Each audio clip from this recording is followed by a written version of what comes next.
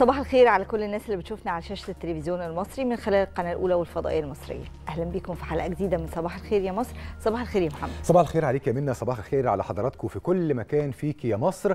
امبارح آه كان مشهد لا أروع ولا أجمل من كده. كل المصريين آه تابعوا صورة مشرفة جدا تشرح القلب وترفع الرأس. تقول لنا إن بلدنا بلد قوية وعافية وبهية.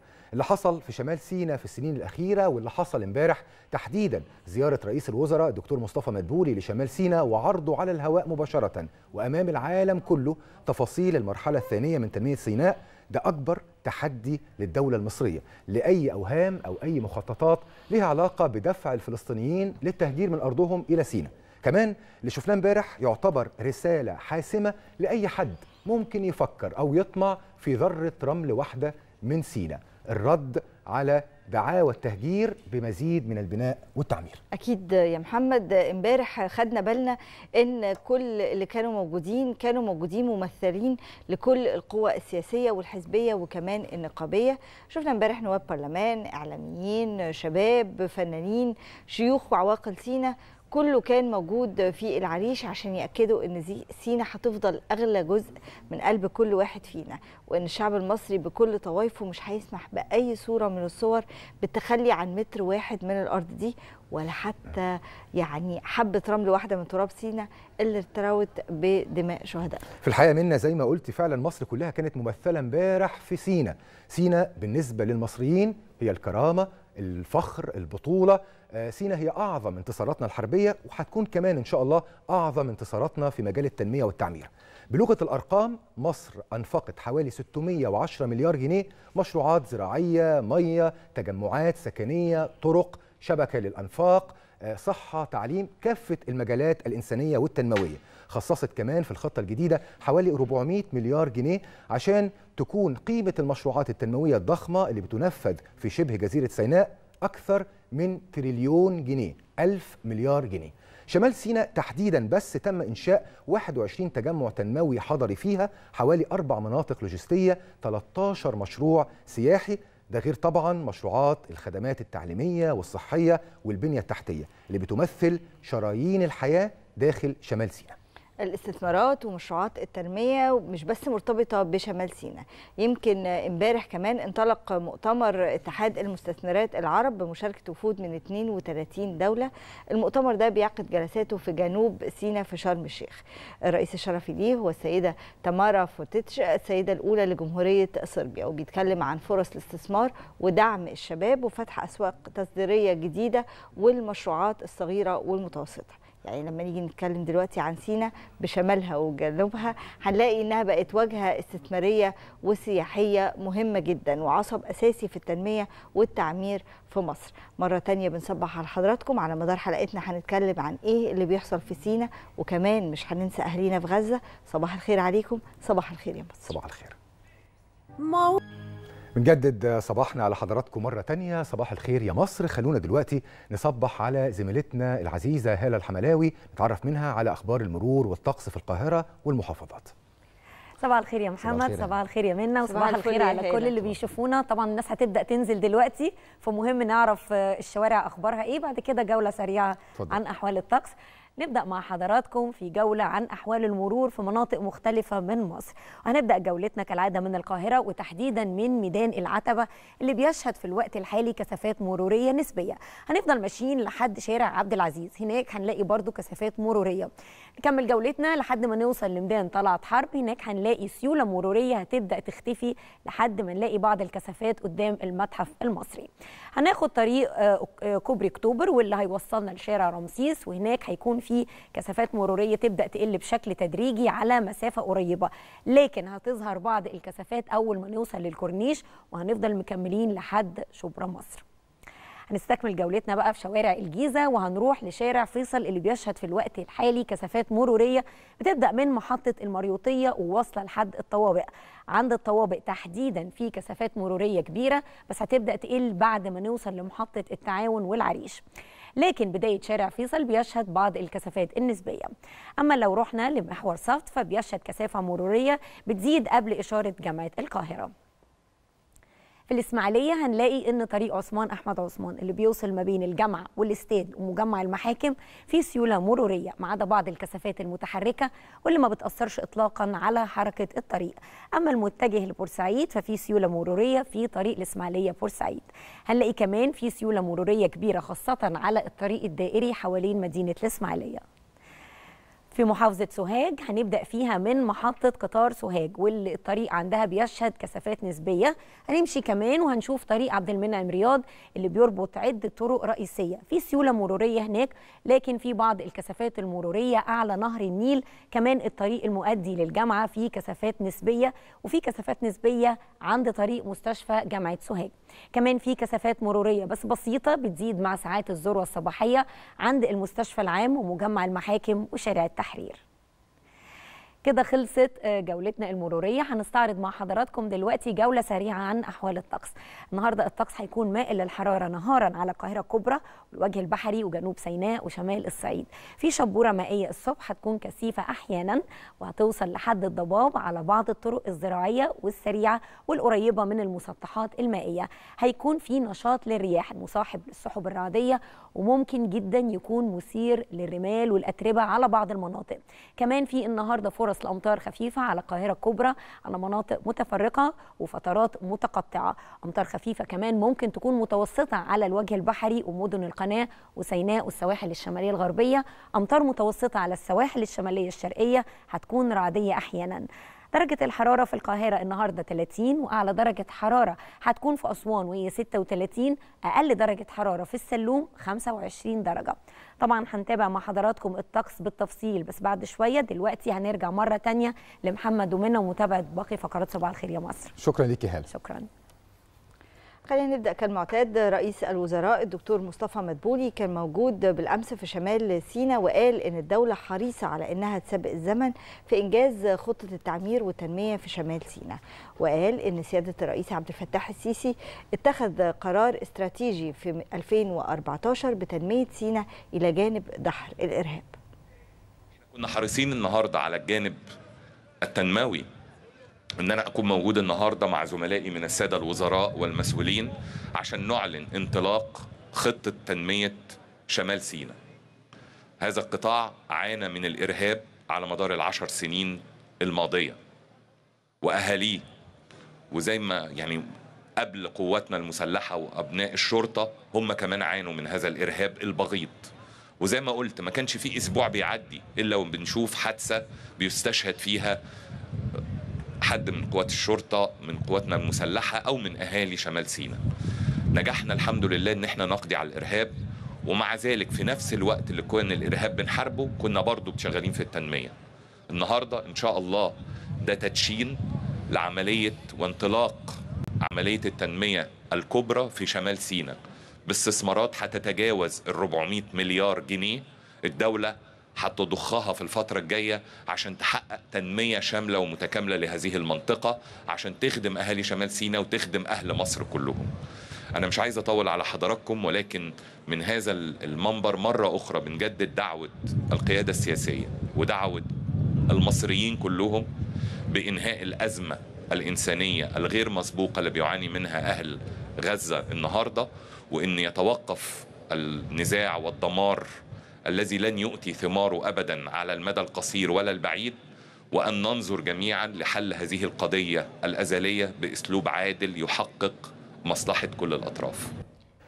وفي زيارة رئيس الوزراء لمعبر رفح الزيارة اللي كانت لافتة جدا قال في مؤتمر صحفي إن مصر بتتحرك على كافة المستويات بدءا من القيادة السياسية وكل أجهزة الدولة وهي تعمل على حل الأزمة الإنسانية غير المسبوقة اللي بيتعرض لها سكان قطاع غزة وإنه حل القضية الفلسطينية لن يتم إلا بحل الدولتين ولن يكون هناك استقرار في المنطقة دون هذا الحل بالرغم من فداحة الحدث وعظم الضحايا الأبرياء المدنيين لكن يظل إن الحل الدائم لهذه الأزمة اللي هتظل موجودة في المنطقة هو هذا الحل الدائم والعادل اللي أقر بيه العالم قبل كده.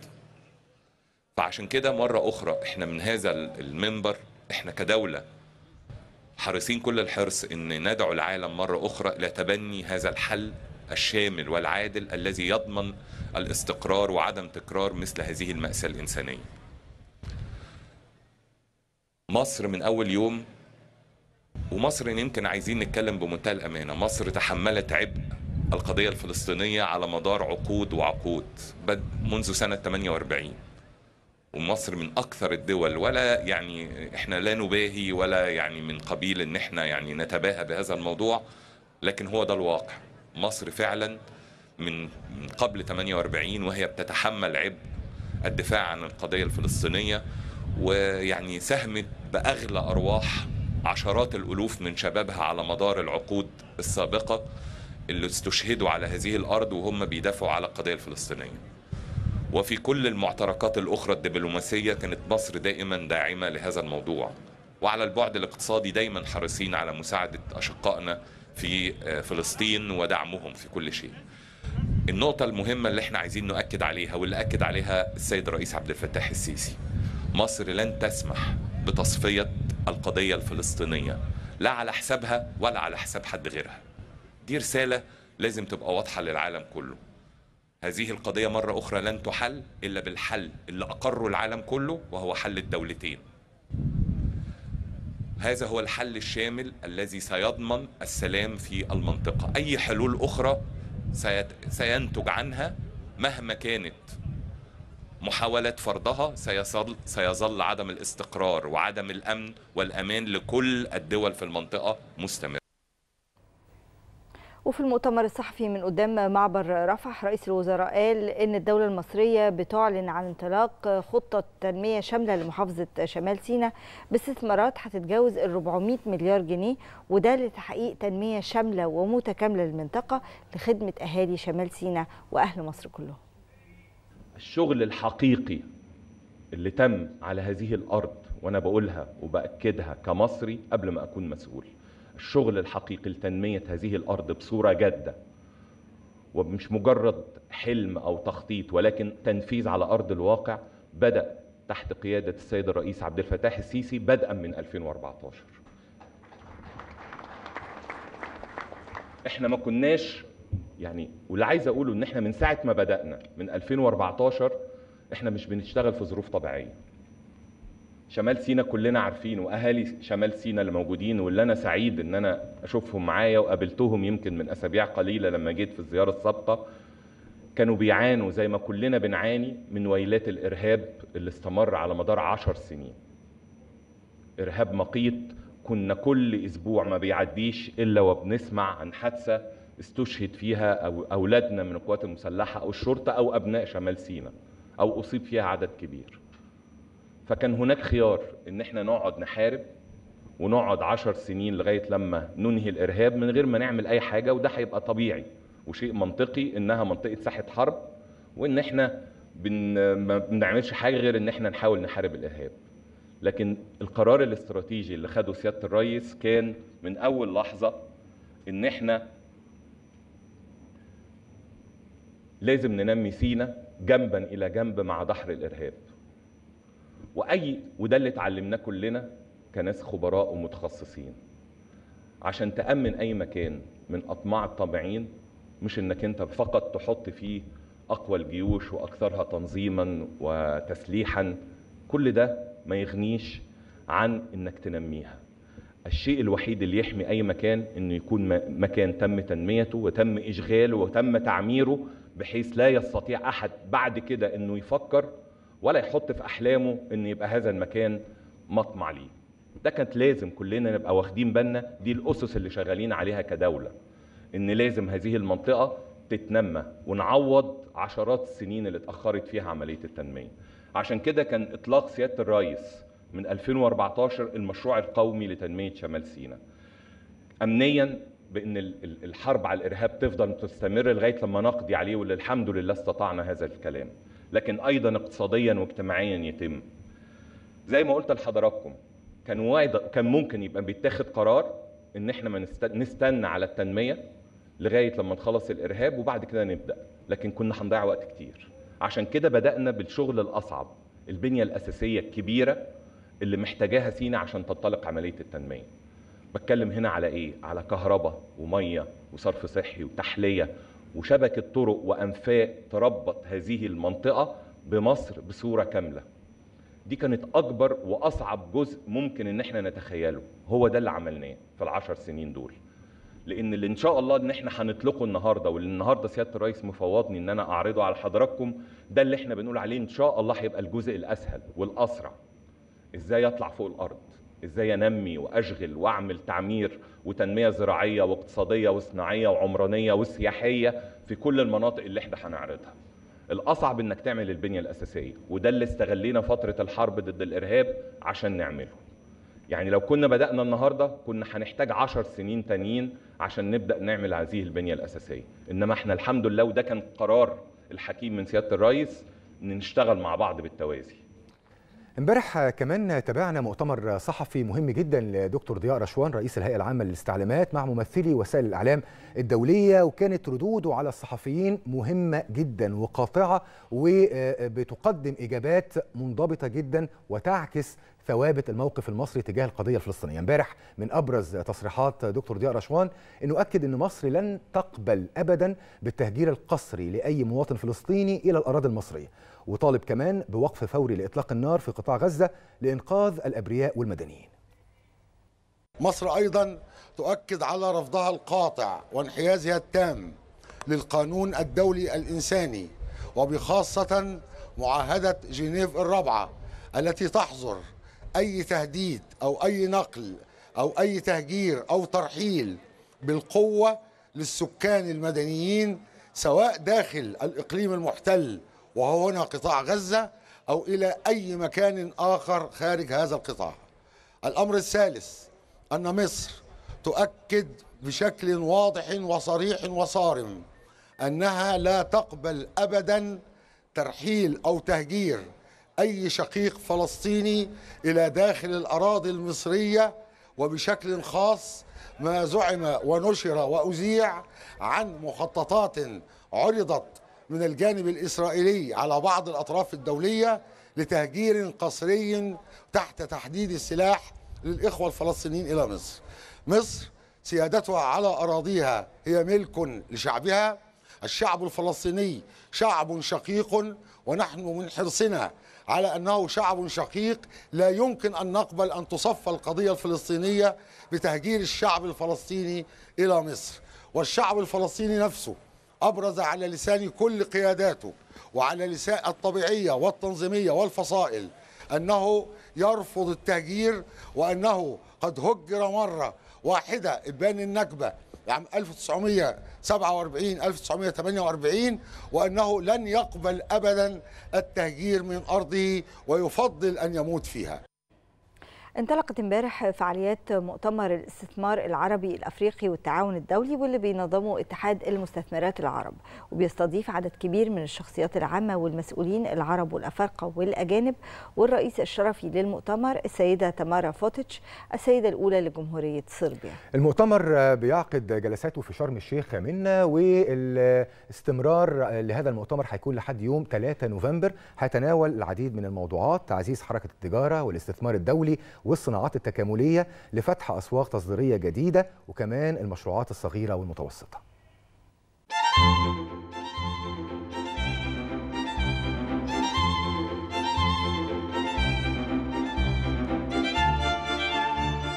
وجود هذه الكوكبة من المسؤولين من الدول العربية والأفريقية وتشريفنا بوجود حرم رئيس جمهورية صربيا وممثل نائبا رسميا لحرم رئيس جمهورية أنجولا وتسليمنا جواب خاص منها للتشجيع والتأكيد لوجودها المرة القادمة لظروف كانت تمنعها من الحضور وكبار رجال أعمال وكبار مسؤولين من 32 دولة بين عربية وأوروبية وأفريقية.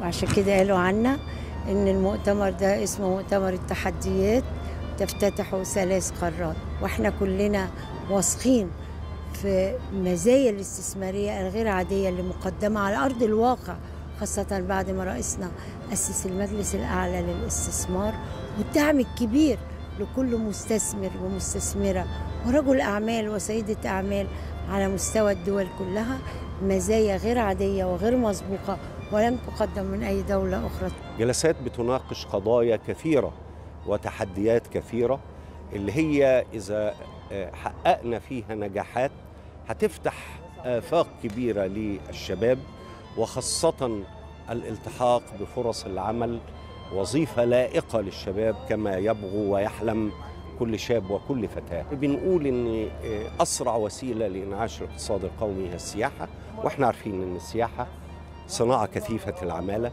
يعني بتستهدف أعداد كتير جدا من راغبي الحصول على فرصة عمل. حاجة تانية بنحقق بيها هدف الدولة وهو المبادرة التي أطلقت من معالي دولة رئيس الوزراء بأننا يجب أن نعمل لنحقق 30 مليون دولار مليار دولار آسف كدخل من السياحة في العام جلسة أخرى بنتحدث عن الصناعات الصغيرة ومتناهية الصغر. وأنتم عارفين المبادرة اللي أطلقها سيادة الرئيس ولكن دايما بقول إن مش كله يلقى على عاتق الدولة. عندنا المجتمع المدني بالاتحادات اللي موجودة بجمعيات الأهلية بكل ده لازم إن هو يطلع منه مبادرات وإن هو يعمل موضوع تأهيل ويعمل تريننج للشباب علشان فعلا يبدأ المشروعات الصغيرة ومتناهية الصغر. وبالمناسبة في دول كتير اقتصادها نما وحققت تقدم لما اهتمت بهذا الموضوع. إحنا اهتمينا جدا إن إحنا نشارك في هذا المؤتمر لأنه ده مؤتمر الاستثمار العربي الأفريقي. وزي ما قلت لحضرتك في الأول لا يمكن أن يحدث تنمية في أي بلد ولا في أي مكان بدون استخدام التقنيات الحديثة اللي بتسرع بعجلة التنمية. فالنهاردة في تحول في العالم كله التحول الرقمي ولكن للأسف كمان تعدينا التحول الرقمي إلى التحول اللي هو بالذكاء الاصطناعي. فالنهارده هذا التحول في الذكاء الاصطناعي لا يمكن أن يحدث استثمار لا يمكن أن يحدث اقتصاد قوي لا يمكن أن يحدث تبادل تجاري قوي بدون استخدام التكنولوجيا المتطورة.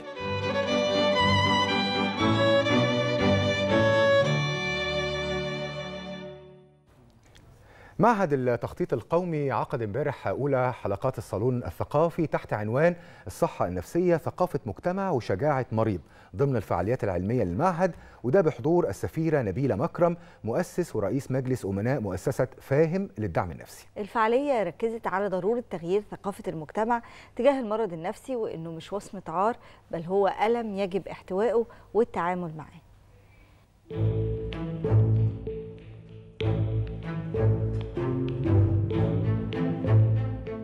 من الوقت للتاني بيتعرض الإنسان لمجموعة من الضغوط والأزمات في حياته بتأثر على حالته النفسية سواء كانت يعني ضغوط وأزمات داخلية على مستوى البيت والأسرة والشغل وغيرها أو ضغوط خارجية زي طبعا المشاهد اللي بنشوفها في قطاع غزة الأطفال والخراب والدمار. كل ده بالتأكيد ليه تأثير سلبي على الحالة النفسية. ومن هنا بيجي دور الدولة واللي بتنظم من خلال المعهد القومي للتخطيط ندوة بعنوان الصحة النفسية. بتقدم فيها روشتة علاج لكل الحالات النفسية ونقاط الضعف وإزاي نقدر نقوي نقاط القوة علشان نعيش حياة مستقرة.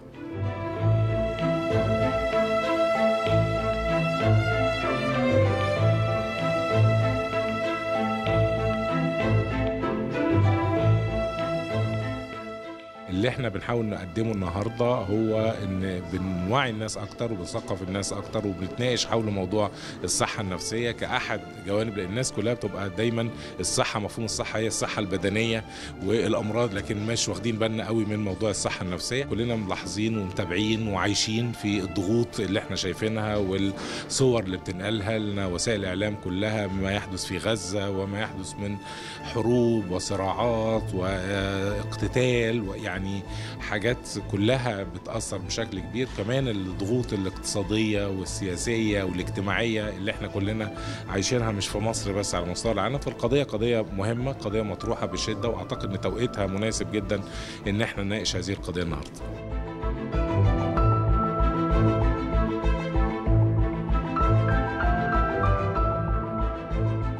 شهر أكتوبر اللي هو شهر الصحة النفسية والاحتفال باليوم العالمي للصحة النفسية بنختتمه بهذا الحضور في هذا الصالون الثقافي بنتكلم فيه عن التعب النفسي.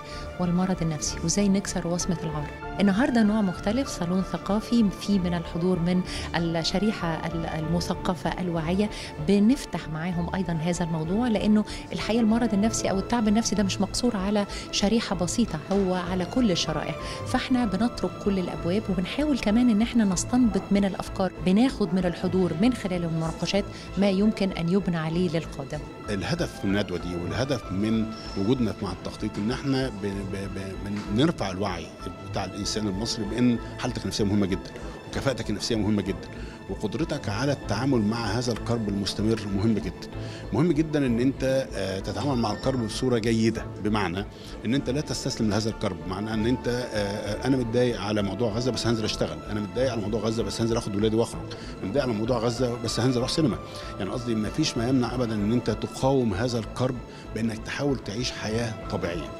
الجزء الثاني مهم جدا فكرة إن أنا أبقى عيني على زي ما عيني على صحتي البدنية اللي هو ضغطي وسكري والكلام كله لازم يكون عيني على صحتي النفسية.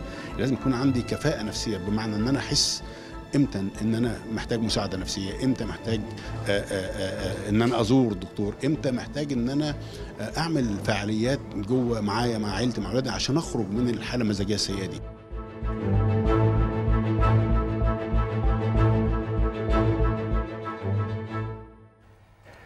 مشاهدينا نروح لفاصل سريع ونرجع من بعده نكمل فقراتنا في صباح الخير يا مصر.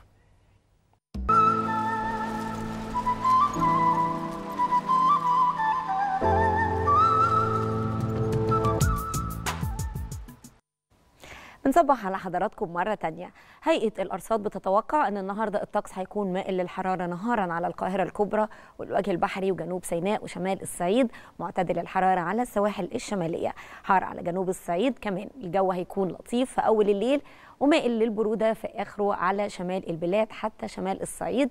لطيف على جنوب سيناء وجنوب الصعيد. في النهاردة شبورة مائية صباحية هتكون كثيفة أحيانا.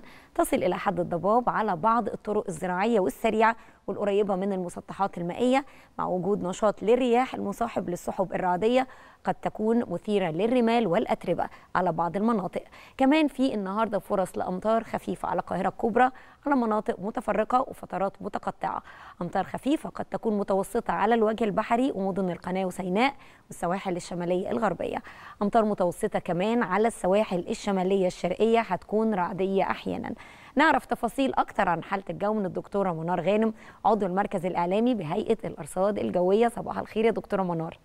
صباح الخير على حضرتك أستاذة هالة وصباح الخير على كل السادة المشاهدين. أهلا بك يا فندم. أهلا بحضرتك. يمكن إحنا شايفين شوية تقلبات في الجو. الصبح بدري الجو شوية برد مائل للحرارة على أول النهار مائل للبروده على آخر الليل. أنا شخصيا شايفة إن الجو رائع جدا بس حضرتك ممكن تقول لنا تفاصيل عن أحوال الجو النهارده. بالفعل هي الأجواء الخريفيه اللي دايما كده بيبقى فيها تقلبات جوية حادة وسريعة واختلاف درجات الحرارة بين فترة النهار وفترة الليل. بيبدأ الفرق في درجات الحرارة يزيد بين فترات النهار وفترات الليل. كل ما تقدمنا أكثر في فصل الخريف يمكن من آخر تحديثات صور الاقمار الصناعية وخرائط الطقس هيكون اليوم في استقرار تام في الأحوال الجوية في معظم محافظات الجمهورية. فرص الأمطار هتتلاشى من المناطق الداخلية وتنحصر فقط في السواحل الشمالية للبلاد ومحافظات شمال الوجه البحري وهتكون أمطار خفيفة غير مؤثرة تماما على أي أعمال أنشطة يومية وعلى فترات متقطعة من اليوم وان محافظه دون الأخرى. هي المحافظات المطلة على البحر المتوسط وشمال الوجه البحري. بالإضافة كمان درجات الحرارة تظل حول المعدلات أو أعلى من المعدلات الطبيعية لها في هذا الوقت من العام. عظمى على القاهرة الكبرى 30 درجة مئوية خلال فترة النهار. فبالتالي هتظل الأجواء الخريفية المائلة للحرارة على القاهرة الكبرى محافظات الوجه البحري آه طبعا محافظات كمان شمال الصعيد وجنوب سيناء. أجواء معتدلة تماما على المناطق الساحلية المطله على البحر المتوسط شديدة الحرارة على جنوب الصعيد ده خلال فترات النهار وتحديدا مع شدة الإشعاع الشمسي وقت الظهيرة. خلال فترات الليل مع غياب أشعة الشمس طبعا بيحصل انخفاض في قيم درجات الحرارة بيكون ملموس أكثر ومحسوس في ساعات الليل المتأخر اللي هي فترات الفجر فترة الصباح الباكر الاوقات دي درجات الحرارة بتنخفض بشكل كبير أجواء مائلة للبرودة في معظم محافظات الجمهورية وخاصة المحافظات اللي ليها ظهير صحراوي بشكل كبير المدن الجديدة الأماكن المفتوحة وزي ما قلنا في الأول فرق درجات الحرارة بين النهار وبالليل بيتجاوز أحيانا ال 11 وال 12 درجة مئوية في بعض المحافظات. بالإضافة كمان دايما مع الاستقرار في الأحوال الجوية الشبورة المائية هي الظاهرة الجوية المؤثرة بشكل كبير ويمكن إحنا ملاحظينها خلال الأيام الماضية ومتوقع إن هي تستمر معانا كمان على مدار الأيام المقبلة يمكن حتى منتصف الأسبوع القادم تظل الشبورة المائية الكثيفة هي الظاهرة الجوية المؤثرة بشكل كبير وبتظهر طبعا على أغلب الطرق الزراعية والسريعة والقريبة من المسطحات المائية ممكن أحيانا توصل لحد الضباب يعني انخفاض في الرؤية الأفقية بيوصل أحيانا لأقل من 1000 متر في بعض المناطق. ومع تكون الشبورة المائية بيكون في ساعات الليل المتاخر اللي هي الشبورة المائية الكثيفة تقريبا 3 4 الفجر تستمر معانا حتى سطوع أشعة الشمس. يعني مع الساعة 7 8 صباحا تدريجيا الشبورة المائية بتبدأ في التلاشي الرؤية الأفقية بتبدأ تتحسن على أغلب الطرق.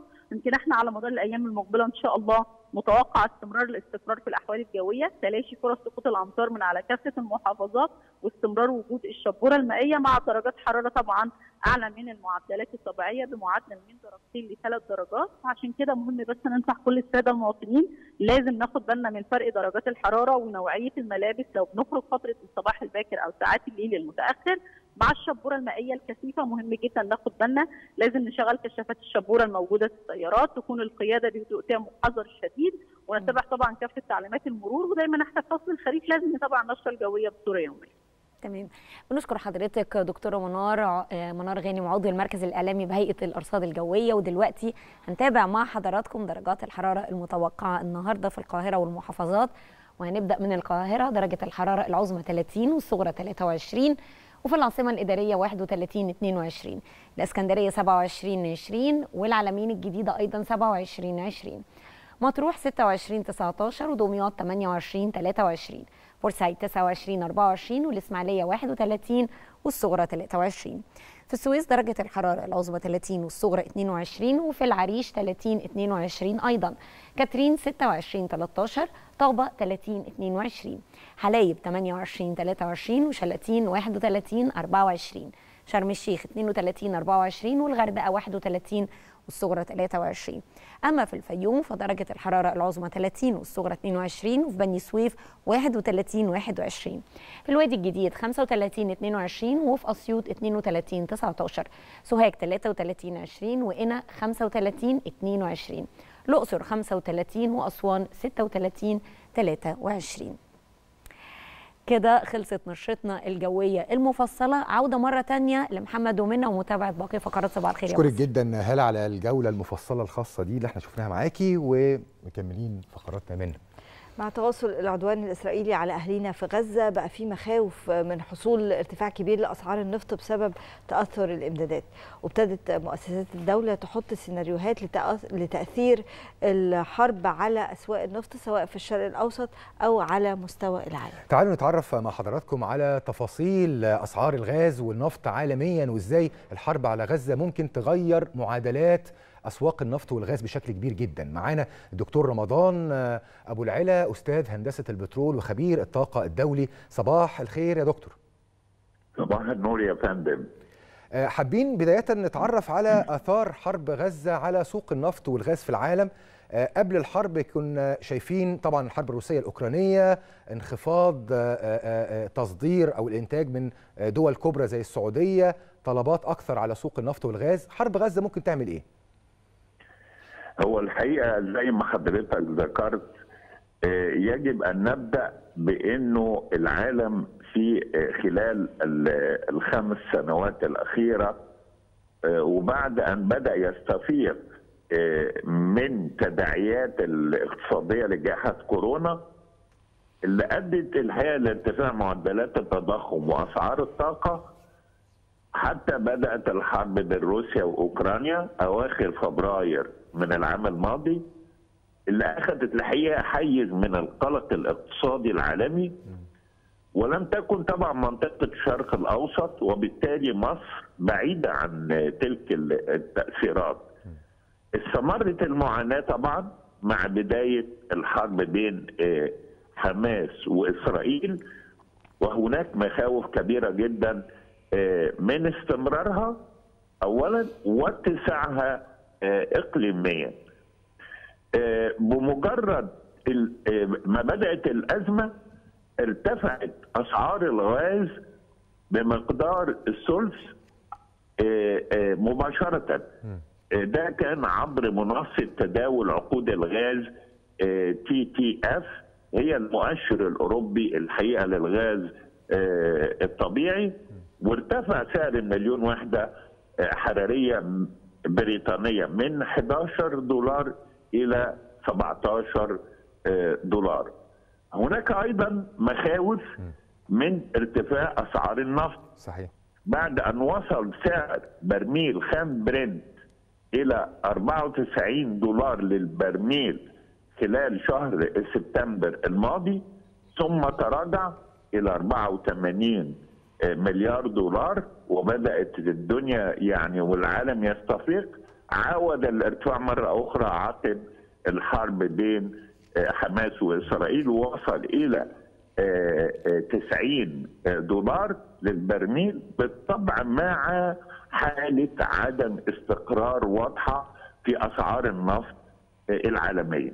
يجي بقى لمصر ومدى التأثير عليها من ارتفاع الأسعار.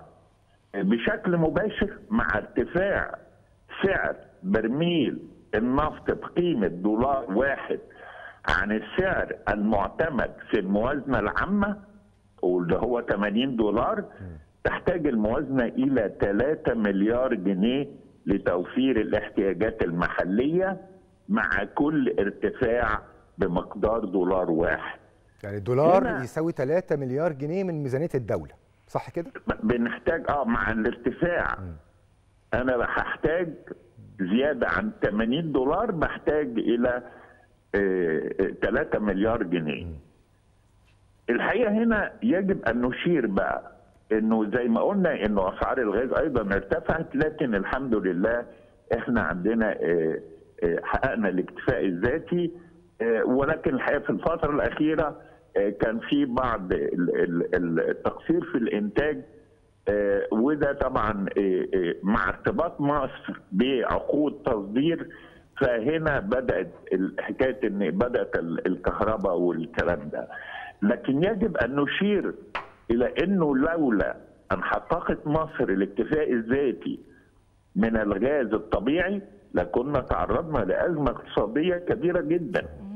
لأنه مع الأزمات المتكررة لأسواق النفط والغاز كنا بنستورد بما قيمته 3 مليار دولار سنويا لتوفير احتياجاتنا من الغاز الطبيعي. نعم. ده كان قبل عام 2018 مع الأزمات العالمية بقى اللي أنا أشرت إليها خلال الخمس سنوات الأخيرة خاصة بعد الحرب الروسية الأوكرانية ارتفع سعر الألف متر مكعب من الغاز الطبيعي من 200 دولار إلى حوالي 1500 دولار وبفضل الله إحنا تجنبنا ذلك بفضل تحقيق الحقيقة مصر للاكتفاء الذاتي من الغاز الطبيعي. سواء إسرائيل سواء فلسطين الاثنين مش من كبار منتجي النفط بصفة عامة وفي نفس الوقت يعني نقدر نقول إن أوروبا بتستعد لشتاء آخر من غير النفط الروسي بعد الأزمة الروسية الأوكرانية نقدر نقول عواقب طول مدة فترة الحرب اللي أعلنتها إسرائيل على فلسطين أو على إخواننا في غزة هتكون إيه على أسواق النفط؟ زي ما حضرتك أشرتي طبعا مش منطقة الشرق الأوسط بشكل عام بتصدر حوالي يعني إسرائيل بتصدر حوالي 7 مليون طن صدرت عام 2022 مصر صدرت حوالي 5 مليون طن. احتياجات اوروبا حوالي 96 مليون طن. نعم. الاحتياجات العالمية وتداول الغاز عالميا 400 مليون طن. لذلك إحنا بنؤثر أو منطقة شرق المتوسط لها تأثير ولكن لها تأثير الحقيقة تأثير محدود. آه ولكن أوروبا فعلا بتحتاج إلى تلك الكميات المحدودة بدليل إنه وقعت المفوضيه الأوروبية مذكرة تفاهم ثلاثية بشأن توريد الغاز الإسرائيلي للاتحاد الأوروبي عبر البنية التحتية المصرية، اذا أوروبا بتبحث عن أي مصدر بديل للغاز صحيح. ومع توقعات الحقيقة شتاء قارس قادم الأزمة الحقيقة بتتفاقم صحيح. إذا استمرت الأزمة أيضا هناك مخاوف مش موضوع ارتفاع أسعار الطاقة فقط ولكن أسعار النقل والشحن ده برضو بتتأثر صحيح. بشكل كبير لأنه منطقة وده شرق المتوسط منطقة جغرافية هامة جدا لتداول. التجارة العالمية. صحيح، يعني كل يوم مع بداية الحرب دكتور رمضان في مخاوف متزايدة من يعني توسيع رقعة الصراع زي ما بيقولوا في المنطقة إيران، منطقة الخليج تحديدا، إحنا بنتكلم على خمس إنتاج النفط من العالم بيخرج من منطقة الخليج وبيمر من مضيق هرمز المنطقة متوترة الحديث عن إيران الحديث كمان بالأمس شفنا صواريخ أطلقت من الحوثيين على إسرائيل المتغيرات دي إلى أي مدى ممكن تؤثر على أسواق النفط والغاز؟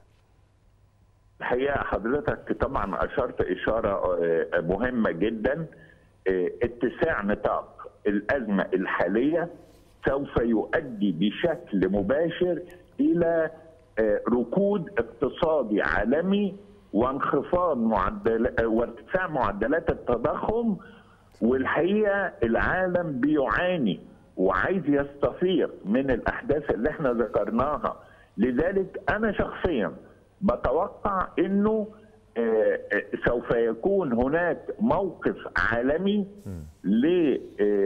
للسيطره على تلك الأزمة ومحاولة وقف إطلاق النار يعني بشكل صحيح هيبقى يعني هو اتأخر كثيرا يعني إنما لازم هيبقى ده توقعاتي الشخصية هيكون في قرار دولي بوقف إطلاق النار واحتواء الأزمة وعدم اتساعها لأنه صحيح. لن يتحمل العالم المزيد من الركود صحيح. الاقتصادي وارتفاع معدلات وده اللي إحنا بننتظره إن شاء الله خلال الأيام القادمة لن يتحمل العالم المزيد من الركود الاقتصادي ولن يتحمل المأساة الإنسانية اللي إحنا بنشوفها للأسف يوم ورا يوم ولحظة بعد لحظة في في قطاع غزة بشكرك شكرا جزيلا الدكتور رمضان أبو العلا أستاذ هندسة البترول وخبير الطاقة الدولي نروح يمنا لمعبر رفح النقطة الأهم اللي شهدت امبارح أحداث كثيرة جدا. مؤتمر صحفي رئيس الوزراء ورئيس هيئة العامة للاستعلامات وكمان شهدت امبارح عبور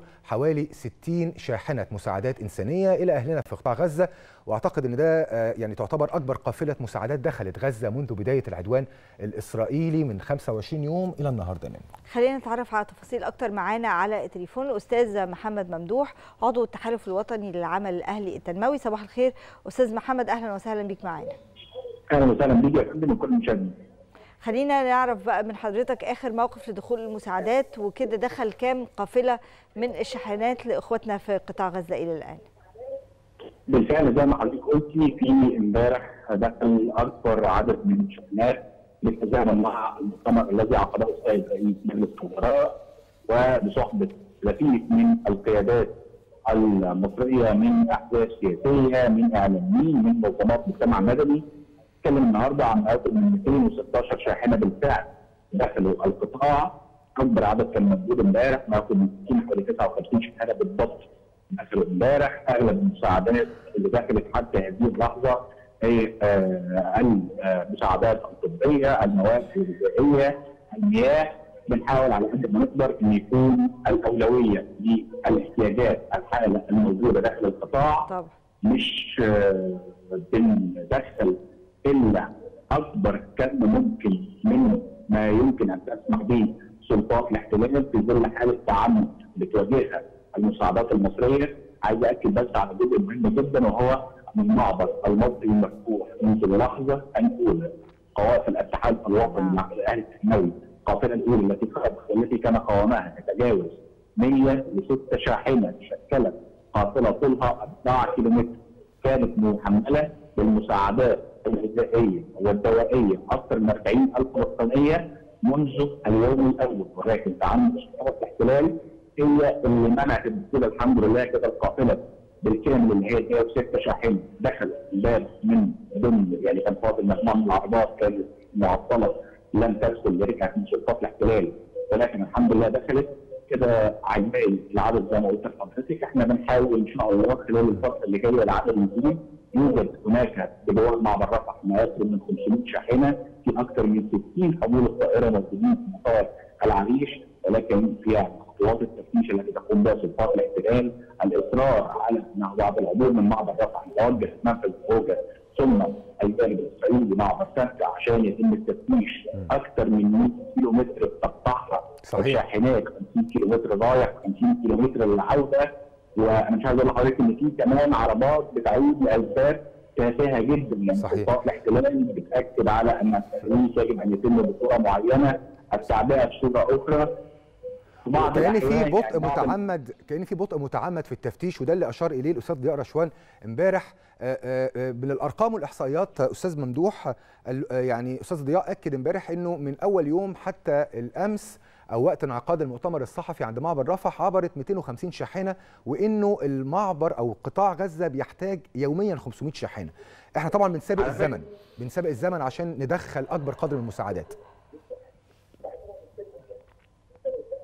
بالفعل يا فندم زي ما حضرتك بتقول إحنا يعني حضرتك يعني أي حد يجيب كمان الفيديوهات الخاصة بالسيارات والشاحنات اللي دخلت إحنا بنحمل الشاحنة بتاعت تحميلتها عشان نحاول يعني نضغط شوية من عدد السيارات اللي بيدخل داخل القطاع محمل بأكبر كم ممكن من الاحتياجات. نظام التعامل الأول كان في أيام لم يسمح لي بإدخال سوى ب 20 سياره وأيام أخرى دخل 10 شاحنات بس زي الجمعة 27 أكتوبر أيام ثانية فيها 47 ما يوم 3 24 أكتوبر على سبيل المثال تم اسماء تم السماح بدخول ثمان شاحنات فقط يعني إحنا بنتكلم إن في أيام بيكون فيها تعنت كامل في دخول عدد الشاحنات. عايز بس على نقطة ان الشاحنات اللي حضراتكم بتشوفوها بتجري بمجموعة طويلة من المراحل. يعني في عربيات اتفرجت حمولتها أكثر من ثلاث أربع مرات عشان خاطر إن أنت تلتزم في الإجراءات. حضرتنا وسلطات الاحتلال لضمان عدم عوده العربات مرة أخرى وأيضا أن تكون هذه العربات محملة بالاحتياجات المطلوبة من الجانب الآخر، إحنا بننسق الجانب الآخر مع الهلال الأحمر الفلسطيني صحيح. مع الأونروا وفي في حالة تنسيق مستمر طبعا مع الهلال الأحمر الفلسطيني ورغم كل المعوقات اللي حضرتك قلتها لنا إلا إن في إصرار لكل المتطوعين الموجودين هناك إن هم يدخلوا هذه المساعدات وإن هم يخففوا من المعاناة عن أهلنا في قطاع غزة. نشكرك شكرا جزيلا الاستاذ محمد ممدوح عضو التحالف الوطني للعمل الأهلي التنموي. مشاهدينا الساعة دلوقتي 8 بتوقيت القاهرة. معادنا مع موجز لأهم الأنباء مع هالة. اتفضلي يا هالة. شكرا منا الثامنة صباحا بتوقيت القاهرة السادسة بتوقيت جرينتش موجز الأخبار من التلفزيون المصري. أهلا بكم.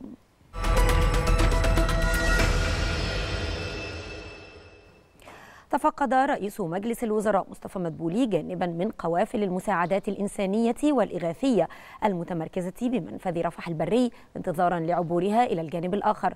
وخلال زيارته لمحافظة شمال سيناء توجه رئيس الوزراء بالشكر لقيادات المجتمع المدني داخل مصر وخارجها والحكومات التي حرصت منذ اللحظة الأولى على تقديم مساعدات لأهالي غزة.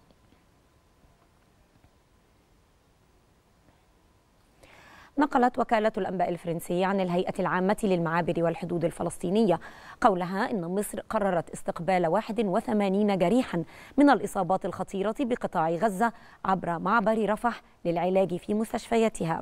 وأشارت الوكالة الفرنسية نقلا عن مصادر طبية إلى إقامة أول مستشفى ميداني على مساحة 1300 متر مربع لاستقبال الجرحى الفلسطينيين حال وصولهم إلى مدينة الشيخ زويد.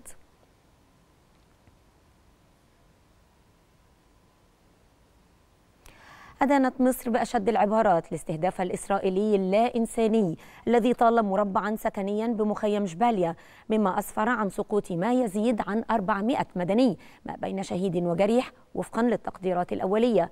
وفي بيان لها أكدت وزارة الخارجية أن ذلك يعتبر انتهاكا صارخا جديدا للقوات الإسرائيلية لأحكام القانون الدولي والقانون الدولي الإنساني.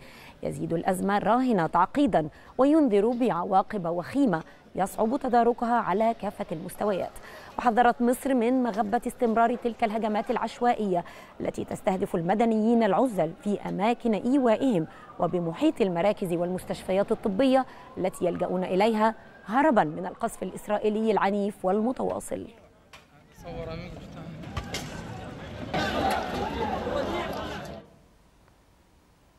وقعت اشتباكات ضارية شرق خان يونس بين قوات الاحتلال والمقاومة الفلسطينية جنوب قطاع غزة. وأوضحت مصادر فلسطينية أن المقاومة الفلسطينية تمكنت من استهداف عدد من الآليات العسكرية الإسرائيلية أثناء توغلها في قطاع غزة وأجبرتها على التراجع وكبدتها خسائر في العتاد والأفراد.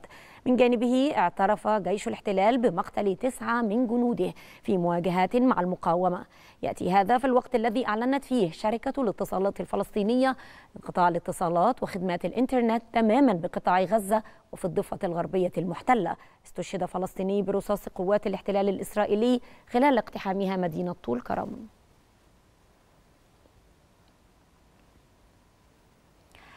هذا وقد واصل طيران الاحتلال الإسرائيلي غاراته الجوية طوال الليل على مناطق متفرقة من قطاع غزة وأوضحت مصادر فلسطينية أن القصف استهدف مناطق هان يونس وجنين.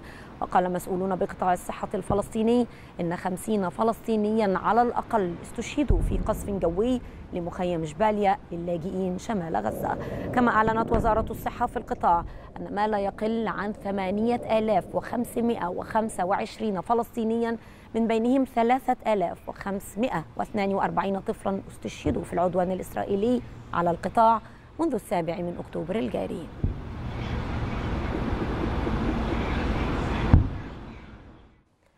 قال المفوض السامي للأمم المتحدة لشؤون اللاجئين فيليبو جراندي إن الجولة الأخيرة والأكثر دموية من الصراع العنيف جراء العدوان الإسرائيلي على غزة تهدد بإلحاق عواقب كارثية بالمنطقة ككل. وفي إحاطته أمام مجلس الأمن الدولي أضاف جراندي أنه لن يكون هناك سلام في المنطقة وفي العالم دون حل عادل للصراع الإسرائيلي الفلسطيني. بما في ذلك إنهاء الاحتلال الإسرائيلي. وأضاف جراندي أن الأسابيع الثلاثة الماضية قدمت دليلا مدمرا على أن تجاهل القواعد الأساسية للحرب بما فيها القانون الدولي الإنساني أصبح على نحو متزايد هو القاعدة وليس الاستثناء مع مقتل المدنيين الأبرياء بأعداد غير مسبوقة.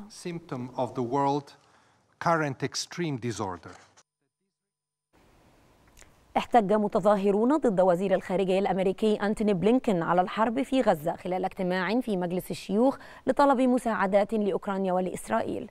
ورفع صف من المحتجين أيديهم ملطخة باللون الأحمر في الهواء احتجاجا على الحرب. ولاحقا أخرجتهم شرطة الكونغرس من الغرفة بعد أن رددوا هتافات تطالب بوقف إطلاق النار في غزة. All of us are determined uh, to see it end. أعلنت حكومة تشيلي أنها استدعت سفيرها لدى إسرائيل للتشاور ردا على انتهاك إسرائيل للقانون الدولي في غزة. وقالت وزارة الخارجية التشيلية في بيان لها إن تشيلي تراقب بقلق العملية العسكرية الإسرائيلية التي تشبه في هذه المرحلة معاقبة السكان المدنيين الفلسطينيين وإن أفعال إسرائيل في غزة لا تحترم القواعد الأساسية للقانون الدولي. يأتي هذا في وقت أعلنت فيه حكومة بوليفيا قطع جميع العلاقات الدبلوماسية مع إسرائيل متهمة إسرائيل بارتكاب جرائم ضد الإنسانية في هجماتها على قطاع غزة. انتهى موجز الثامنة وعودة لاستكمال باقي فقرات برنامج صباح الخير يا مصر بعد الفاصل.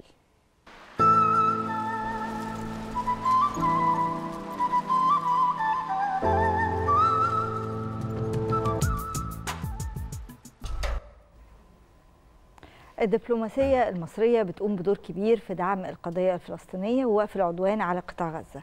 خصوصا بعد ما قدرت تحقق المعادلة في تغيير المواقف الدولية وده أعتقد شفناه على مدار الفترة اللي فاتت. وده طبعا ظهر بشكل واضح بعد ما شفنا تراجع النبرة المتشددة اللي تبناها الغرب تجاه الأزمة مع بداية العنوان العدوان الإسرائيلي على أهلنا في غزة. تفاصيل وقراءة وافية أكثر عن الموقف الدولي من الحرب على غزة. خلونا نرحب بسيادة السفير حسين هريدي مساعد وزير الخارجية الأسبق اللي منورنا في استوديو صباح الخير.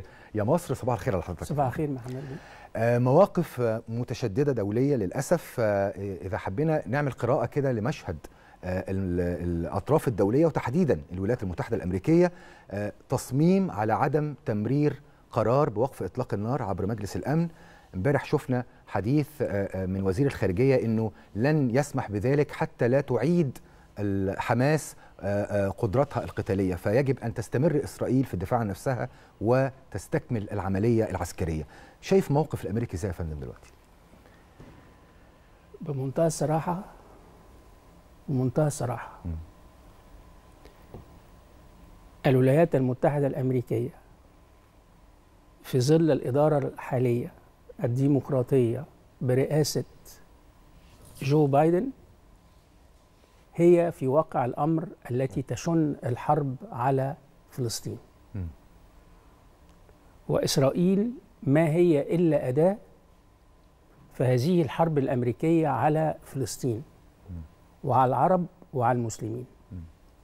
إحنا تعودنا أو على الأقل الجيل اللي أنا بنتمي إليه واللي عاصر حروب كثيرة بين العرب بين مصر وإسرائيل وبين وبين فلسطين وإسرائيل. اتعودنا مش مفاجأة التأييد الأمريكي لإسرائيل. صحيح. وإحنا الشهر الماضي احتفلنا بمرور نصف قرن على حرب أكتوبر. وإذا كلمتكم وإذا كلمتكم على التأييد الأمريكي لإسرائيل في حرب أكتوبر هيكون خير مثال على هذا التأييد.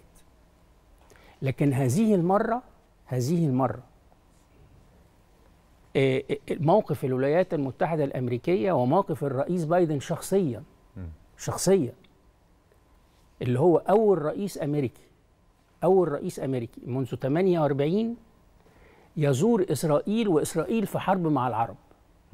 وليس هذا فقط وإنما يشارك في اجتماع لمجلس صحيح. الحرب آه. الإسرائيلي الرواية الأمريكية الرواية الأمريكية لهذا الاجتماع هو أن الرئيس الأمريكي كان يود الاستماع إلى وجهات نظر القادة الإسرائيليين ويطرح عليهم أسئلة لكن وجوده في مجلس الحرب الإسرائيلي يوم 18 أكتوبر يعني بعد 11 يوم أو 10 أيام من بدء العدوان الإسرائيلي على قطاع غزة وجوده صحيح. على المستوى الرمزي ده أكبر دليل على تواطؤ أمريكي صارخ صحيح. مع إسرائيل في هذا العدوان فاللي بيدير المشهد في, في, في, في غزة النهاردة وفي الشرق الأوسط هو هي الإدارة الأمريكية في جزء من, ها من, من, من هذا الموقف يتصل طبعا بحماس لكن في جزء بقى اللي هو يتصل بما هو قادم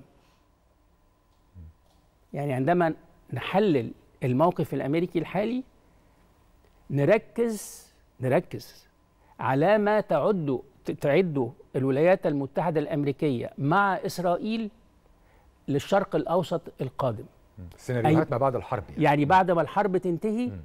وهم نفسهم قالوا سواء الإسرائيليين أو الأمريكان قالوا إن الشرق الأوسط بعد ما هتنتهي هذه الحرب لن يكون مثل الشرق الأوسط قبل 7 أكتوبر. ف ومصر في المعادلة. وعشان كده حتى امبارح ما كانش امبارح ما كانش مصادفة ما كانش مصادفة إن موقع موقع إسرائيلي غير معروف.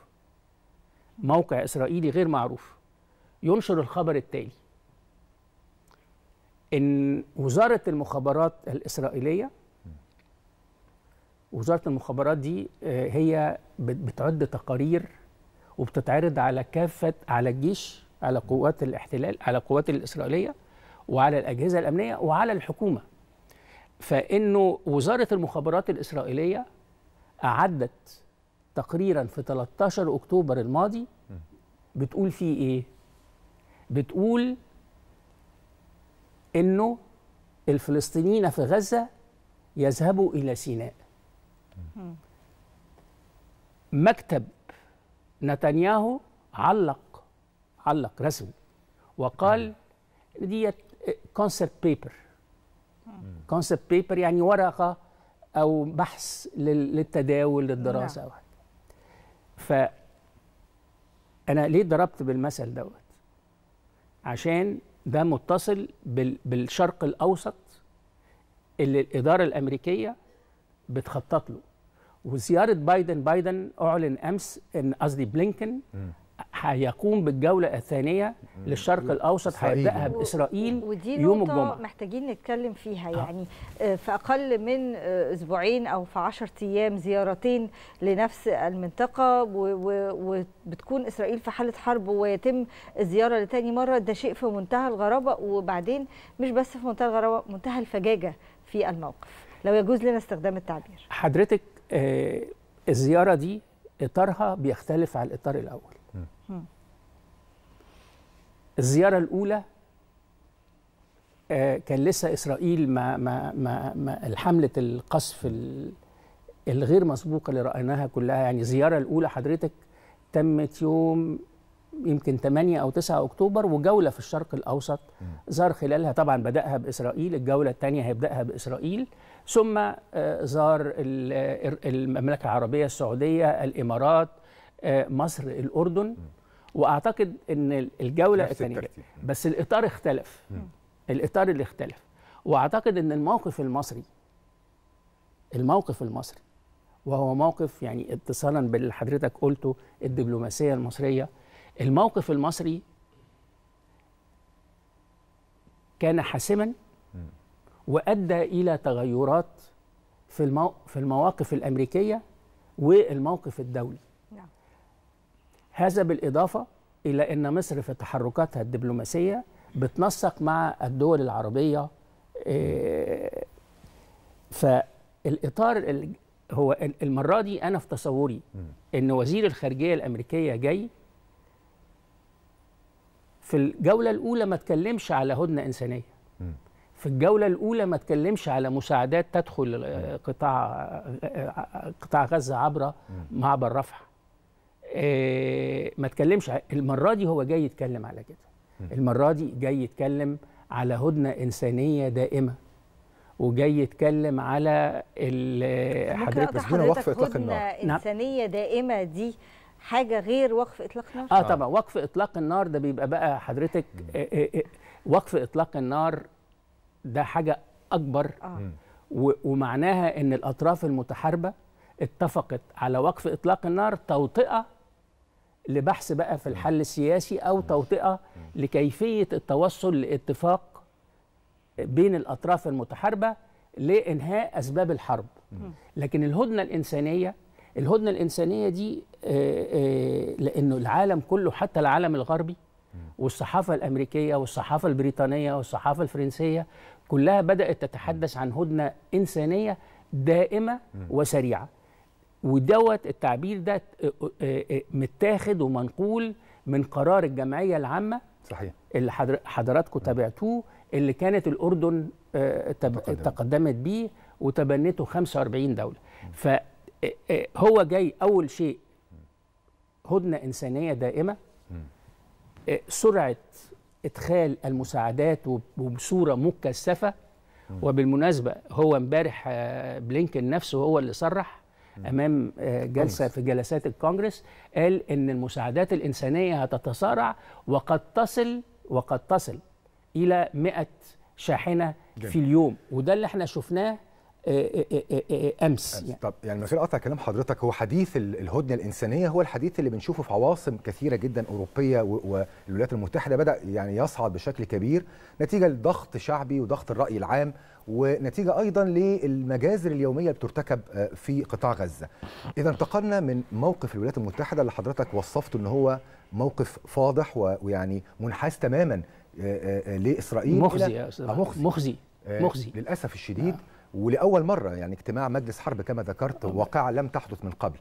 آه إلى مواقف أخرى أطراف دولية أخرى زي الاتحاد الأوروبي مثلا بدأت النبرة هل تتغير في بعض العواصم؟ إحنا شفنا امبارح وثيقة أوروبية بتتحدث عن ترتيبات الأوضاع ما بعد غزة فكرة الحماية الدولية أو يعني وضع أكثر من طرف دولي وأن تكون غزة تحت الوصاية أو الحماية الدولية. شايف الأصوات الأوروبية إزاي؟ وموقف الاتحاد الأوروبي يا فندم. أوروبا منقسمة على نفسها. وكما تعلمون حضراتكم إن كان في قمة أوروبية يوم الخميس والجمعه الماضية.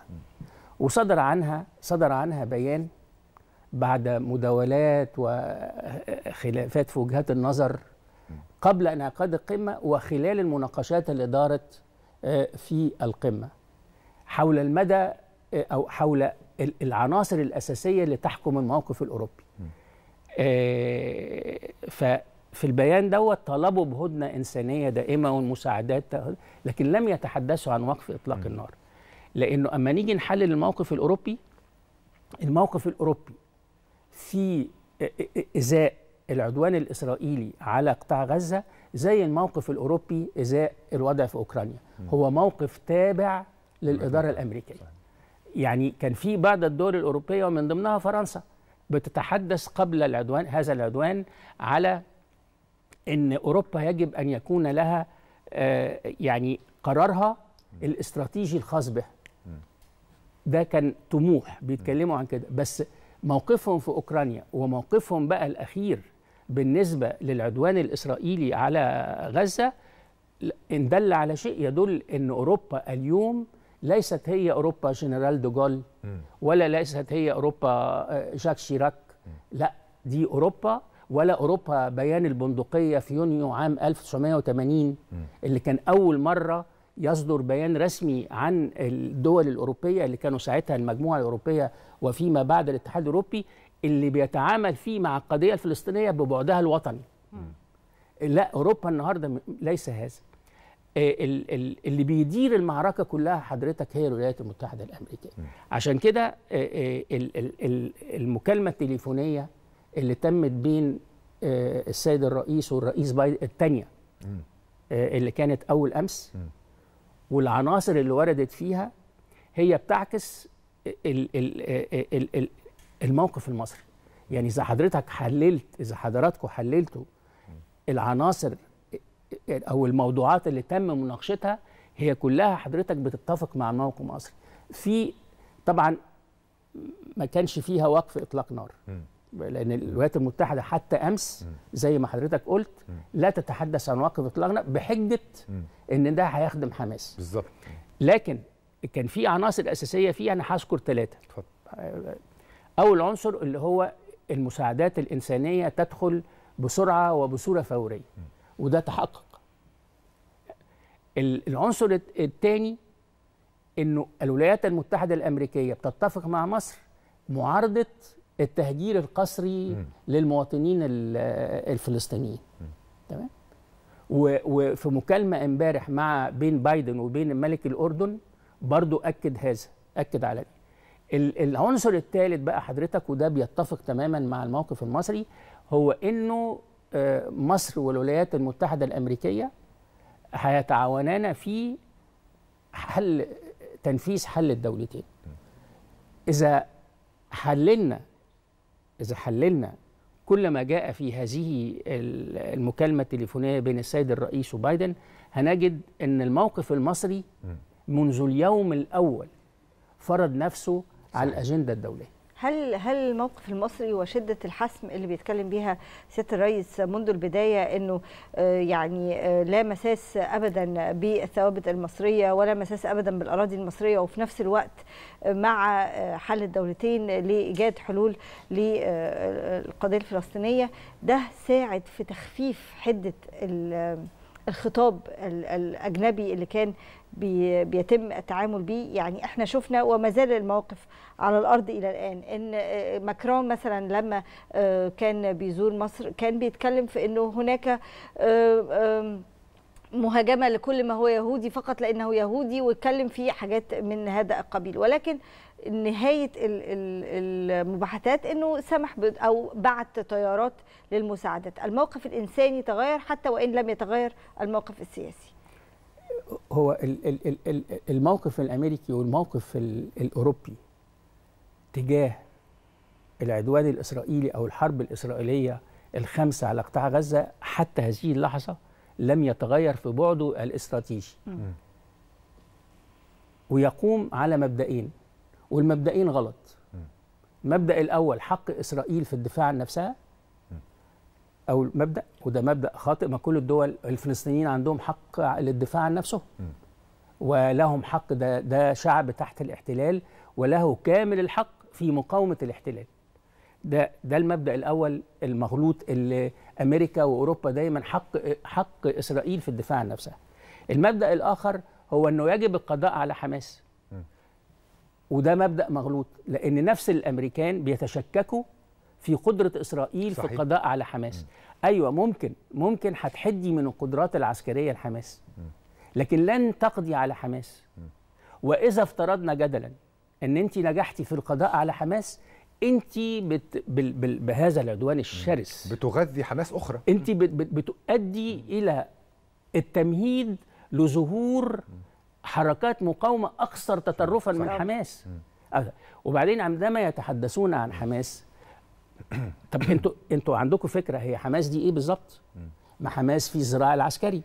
وحماس في الإدارة الإدارة اليومية الإدارة الحكومية اليومية في القطاع. ثم هناك ال ال الخلفية التاريخية لحماس. حماس حماس موجودة مش مش كتنظيم مش كحركة مقاومة. حماس كفكرة موجودة في قطاع غزة من 1973 إيه إيه الشيخ أحمد ياسين صحيح. في 73 أسس جمعية خيرية جمعية ذات توجه إسلامي. من 73 من 73 حتى تأسيس حماس حركة هي حماس حركة المقاومة الإسلامية. تمام كده؟ حتى الإعلان عن تأسيسها في عام في 1987 كان في الاحتلال الإسرائيلي في ظل الاحتلال الإسرائيلي. فحماس موجود. أحب بقى أقول لحضراتكم حاجة بقى. بالنسبة بقى لحماس والنهاردة نتنياهو بيقول يجب القضاء على حماس. لا. نتنياهو نتنياهو شخصيا في اجتماع مع الليكود الحزب اللي هو بيتولى رئاسته قال نحن الدعم المالي لحماس ده هيؤدي إلى عدم قيام الدولة الفلسطينية. قال لهم لأن الدعم المالي لحماس ده بيقوي حماس في قطاع غزة وبيعمق الانقسام بين حماس وبين السلطة الوطنية الفلسطينية.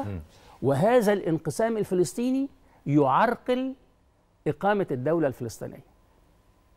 نتنياهو منذ اليوم الأول من توليه رئاسة الحكومة الإسرائيلية في عام 1996 وهدفه غير المعلن هدفه غير المعلن هو عدم السماح بقيام دولة فلسطين المستقلة. وده كمان يدفعنا لفكرة إنه تاريخيا سعادة السفير ما فيش حركة مقاومة بتهزم. يعني تاريخيا دائما حركات المقاومة في النهاية حتى لو الأمد طال بتنتصر. على المستعمر وده وقائع كثيرة جدا لو اتكلمنا عنها. لما نيجي نتكلم على الموقف العربي لأنه مهم جدا إن إحنا في لحظة تاريخية دقيقة أعتقد لم تمر بها المنطقة من قبل. فكرة هذا العدوان بهذا الشكل الصارخ والمخزي زي ما حضرتك سميته بيتطلب موقف عربي قوي وحاسم وموحد. في دعوة لعقد قمة عربية طارئة. في الرياض خلال الأيام يعني خلال أعلن أيام اعلن يوم 11 يوم 11 نوفمبر. أيوة. ما المطلوب عربيا يا فندم؟ ما الذي يمكن أن يقدم خلال هذه القمة ليعكس موقف عربي موحد يمكن أن يكون ضاغط على عواصم صنع القرار في العالم؟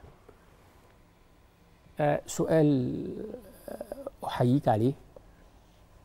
العالم العربي وإحنا قدامنا نموذج آه نموذج كيف تعامل العالم العربي مع حرب أكتوبر منذ نصف قرن؟ وإزاي الموقف العربي والتضامن العربي والصمود العربي في حرب أكتوبر وما بعد حرب أكتوبر ادى أدى إلى أدى إلى تغيير في المعادلة الدولية الخاصة بالمواقف الأمريكية والأوروبية تجاه الصراع العربي ال ال ال الإسرائيلي. اليوم ينبغي على العالم العربي طبعا العالم العربي النهارده بعد الربيع العربي مش هو العالم العربي الذي كان قائما منذ خمس عقود يعني عشان لكن لكن أبسط مثال العالم العربي يعمل إيه؟ العالم العربي بلغ الإدارة الأمريكية. إذا كنت أنت يا إدارة بايدن كملتي سياسة إدارة ترامب فيما تسمونه بالاتفاقيات الإبراهيمية هذه الاتفاقيات لن يتم تطويرها إلا برفع إسرائيل لحصارها عن قطاع غزة. ده أبسط طلب أبسط طلب أستاذ محمد. بس اللي خلينا يا فندم يعني عفوا المقاطعة؟ آه. برضه السؤال أنا آسف آه المقاطعه فكرة إنه إزاي أمريكا بتتجاهل مصالحها تماما في المنطقة وحلفائها. يعني عندها مصالح مهمة مع دول عربية كبرى ومع أطراف إقليمية مهمة بتتجاهلها تماما لمصلحة إسرائيل. يعني تحليل حضرتك لهذه اللحظة إنه أمريكا لا ترى إلا إسرائيل في المنطقة. حضرتك بالنسبة. من وجهة نظر الامريكيه الموضوع مش بيطرح كده. يعني النقطة اللي حضرتك أثرتها دي مرة أثيرت مع آه مع مسؤولين في الإدارة الأمريكية. حضرتك تعرف ردهم كان إيه؟ الولايات المتحدة الأمريكية تعرف أين مصالحها. طب ما عندها مصالح مع مع السعودية ومصر ومع الدول هي ح... أمريكا إسرائيل إسرائيل حضرتك زي بالظبط أوكرانيا بالنسبة للولايات المتحدة الأمريكية وأوكرانيا بالنسبة لروسيا في في الفكر الاستراتيجي أو التخطيط الاستراتيجي الأمريكي. دولة بتحصل على كل الدعم والمساندة السياسية والمعنوية والعسكرية والمالية دولة في شرق أوروبا على حدود روسيا ودولة في قلب العالم العربي لتحقيق الأهداف الأمريكية والرئيس بايدن إحنا مباشر معانا سعادة السفير من معبر رفح مم. عربيات الإسعاف وعربيات الإمدادات وهي بتعبر يعني المعبر وهي مصطفى. نحيي قرار الحكومة المصرية بمنتهى الصراحة. بمنتهى الصراحة. يعني استقبال الجرحى الفلسطينيين من قطاع غزة. آه يعني إحنا امبارح الخبر كان مهم جدا يا منا آه. اللي هو استقبال حوالي 81 مصاب فلسطيني إصابات خطيرة صعب إنه تقدم له العلاج الطبي داخل القطاع فزي ما إحنا شايفين دلوقتي الصورة يعني حقيقي. المساعدات الإنسانية سعادة السفير اللي بتدخل ده لا تمثل يعني ضغط دولي على إنه الناس عمالة تقول إن المساعدات الإنسانية لا تمثل أقل يعني لا تزيد عن 3% من اللي محتاجاه بالفعل قطاع غزة. كل ده مفيش حد دوليا قادر يمارس مزيد من الضغط لدخول المساعدات إنسانيا ما دام تشدقونا بالإنسانية؟ أنا متفق معاك تماما. هو موقف الولايات المتحدة الأمريكية اختلف بعد المكالمة بين السيد الرئيس والرئيس الأمريكي جو بايدن. وكما قلنا إن بلينكن أمس أعلن إنه المساعدات الإنسانية هتزيد, هتزيد. وهتصل إلى 100 شاحنة في اليوم. وحضراتكم عارفين إن قبل العدوان الإسرائيلي على غزة كان 500 شاحنة تقريبا بتدخل قطاع غزة يوميا. يوميا. لا يوميا. لكن إحنا كمصريين وكعرب وكمسلمين أيوه نطالب بالمسا... بالهدنة الإنسانية وإن المساعدات الإنسانية لكن الموضوع لا ينبغي علينا أن نختزله في المساعدات الإنسانية. إحنا أنا إحنا كنت عايزة أسأل حضرتك السؤال ده هل بيتم تحويل القضية بشكل أو بآخر من قضية حق تقرير مصير وقضية سياسية لقضية مساعدات إنسانية والموضوع بيتم تحويله لشكل مختلف؟ هو الغرب الولايات المتحدة الأمريكية وأوروبا اختزلته في المرحلة الحالية في المساعدات الإنسانية. لكن مصر مصر رفض تماما. بتتحدث عن وقف إطلاق نار صحيح. و وحل الدولتين. وحل الدولتين. فال... لكن ال... ال... ومصر هتستمر في المطالبة بوقف إطلاق نار وبحل الدولتين. وقرار الجمعية العامة. إذا حضرتك رحتوا لقرار الجمعية العامة. هو بيتحدث عن هدنة إنسانية دائمة وفورية ومستدامة توطئة لوقف الأعمال العدائية جميل فالموقف المصري والموقف العربي وده اللي أتوقعه من القمة العربية الطارئة التي دعا إليها رئيس السلطة الفلسطينية السيد محمود عباس إن هو هيركز على وقف إطلاق نار لكن زيارة بلينكن للمنطقة المرة دي هي جاية أتصور أتصور طبعا تأكيد دخول المساعدات الإنسانية. لكن أنا أتصور إن هيبقى فيها جزء كبير هي برضو قبل القمة العربية الطارئه هيبقى في عنده هدفين. الهدف الأول ده هدف مكرر ألا وهو عدم اتساع المواجهة في المنطقة. وهيطالب الدول العربية إن هي تبذل جهودها الدبلوماسية لعدم اتساع المواجهة في المنطقة. جميل. بس عايزين نذكر برضو السادة المشاهدين الصور اللي إحنا شايفينها منا على الهواء مباشرة من معبر رفح وإدخال سيارات الإسعاف من الجانب الفلسطيني إلى الجانب المصري ونقل المصابين للعلاج على الأراضي المصرية. وزي ما أكدت بعض المصادر بالأمس على إنه مصر سمحت النهارده باستقبال الجرحى الفلسطينيين يعني أصحاب الحالات الخطرة للعلاج في المستشفيات المصرية. وزي ما إحنا شايفين الصورة على الهواء دلوقتي دخول سيارات الإسعاف وهي تنقل الجرحى الفلسطينيين. البعد الإنساني حاضر وده ثابت من الثوابت الخاصة بالمقاربة المصرية أو السياسة المصرية للأزمة في غزة. تمام. البعد الإنساني. يعني مصر من أول يوم يعني تعرضت لضغوط عشان تفتح معبر رفح. هو كان مفتوح. آه لكن ده ده اللي طلب منها من الولايات المتحدة الأمريكية والدول الأوروبية. إن هي تفتح معبر رفح وبعد الدول في آسيا. عشان مرور مزدوج الجنسيه ومرور ال ال الأجانب بمختلف جنسياتهم اللي بيحملوا جنسية مزدوجة. فمصر ردت من اليوم الأول صراحة. صحيح. كان موقف قوي جدا. إذا كنا هنفتح معبر رفح أو إذا كنا هنسمح بمرور الأجانب في نفس الوقت بالتوازي مع ذلك بالتوازي مع ذلك. وخدوا بالكم التوازي مع ذلك مش بالتتالي لا بالتوازي. إن تخش المساعدات الإنسانية.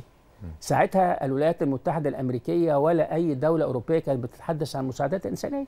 اليوم أو اليوم بيتحدثوا عن مساعدات إنسانية. لكن الموقف المصري مش بس يعني المساعدات الإنسانية ديت حضرتك ده فرع. صحيح. لكن الأساس هو وقف العدوان الأساس جوهر الموقف المصري الرسمي اللي هو بيعكس حضرتك الرأي العام المصري. يعني في تناغم بين الرسالة اللي بتصدر من القيادة أو من الدولة المصرية وبين مشاعر صحيح. الشعب المصري. وده اللي إحنا شفناه يعني امبارح حتى في مشهد في سينا امبارح لما شفنا مؤتمر وزيارة رئيس مجلس الوزراء دكتور مصطفى مدبولي بصحبة سبع وزراء إلى الكتيبة 101 واجتماعه مع مشايخ وعواقل سيناء. كان في حالة من الاصطفاف الشعبي زي ما بيقولوا أو التوحد وراء القيادة السياسية في هذه اللحظة. إحنا مهم جدا نؤكد على الرفض التام للتهجير الرفض التام لأي سيناريوهات محتملة لوطن بديل أو وطن مصطنع داخل سيناء. وترحيل الفلسطينيين. فدي من الثوابت اللي من سوى. أول يوم من الحرب القيادة السياسية أو الدولة المصرية بتؤكد عليها. المبدأ الثاني بقى أو الهدف الثاني لجولة بلينكن هو الحديث مع الدول الح... اولا ياخذ رأي إسرائيل لأنه في إسرائيل أعلنوا أمس ولأول مرة إن هم بدأوا صحيح. يعدوا دراسات على الفترة على قطاع غزة وكيفية إدارة قطاع غزة بعد أن تتوقف الحرب. فبلينكن هدفه الثاني هو يتحدث مع الإسرائيليين يتعرف على تصوراتهم ثم. ثم. يذهب إلى العواصم العربية اللي هيزورها يناقش يناقش. الأفكار الإسرائيلية بس وكانها أفكار أمريكية. مع الدول العربية الفترة ما بعد انتهاء الحرب وكيف سيتم؟ لأن النهارده الفكر الأمريكي كله كيف سنتعامل مع قطاع غزة بعد انتهاء ومن الحرب. يتحمل مسؤولية إدارة قطاع غزة؟ وفي سيناريوهات كتيرة عرضت واحتمالات كتيرة إزاي هيكون عليه شكل القطاع بعد انتهاء الحرب أو في اليوم التالي لانتهاء هذه الحرب. بشكرك شكرا جزيلا. العفو، دايما العفو. بتشرفنا لا ودايما العفو. شكرا على الاستضافة. بنتشرف و... وتحية ل... ل... يعني تحية للشعب الفلسطيني الصامد طبعا. أمام العدوان الإسرائيلي. شكرا شكرا جزيلا. سعادة السفير حسين هريدي مساعد وزير الخارجية الاسبق صباح الخير. صباح الخير يا فندم. صباح الخير يا مصر. لسه مع حضراتكم مشاهدينا. صباح الخير معاكم. نروح لفاصل سريع ونرجع مرة تانية. وصباح الخير يا مصر.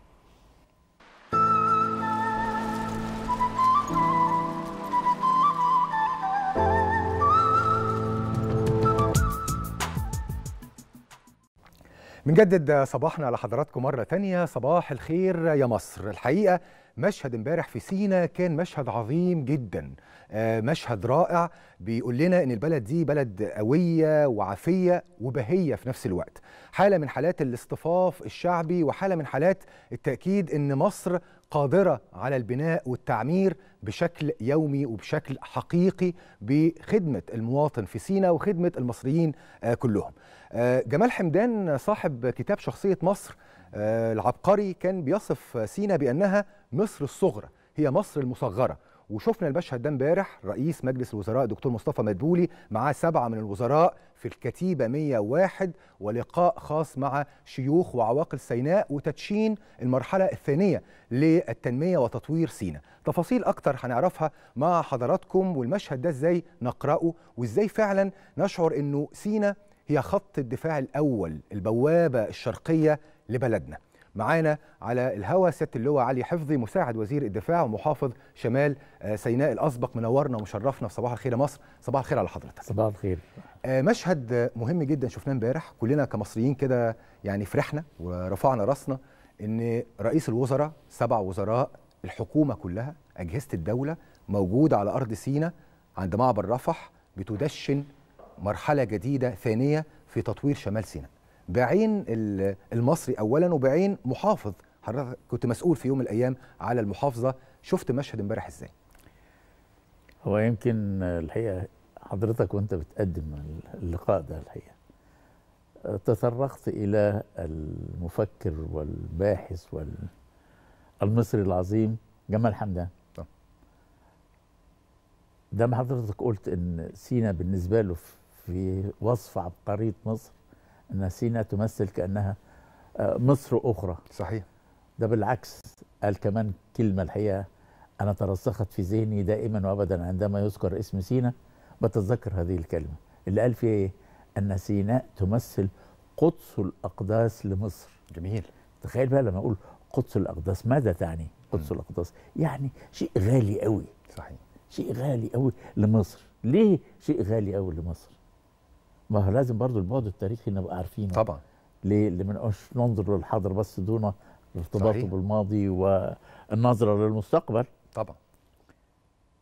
سيناء على مر التاريخ كانت تمثل الدرع الذي يحمي مصر من غزوات الطاميين مم. يعني على مر تاريخ مصر منذ أحمس مم. حتى وقتنا هذا خلاص. هكسوس والتتار والرومان زي ما حضرتك قلت والإغريق آه كله. الهكسوس والحيثيين. والتتار والمغول ونقول البطالمه والرومان كلهم دخلوا من هناك، من والإنجليز الشرقية. والعثمانيين. واخد بال حضرتك.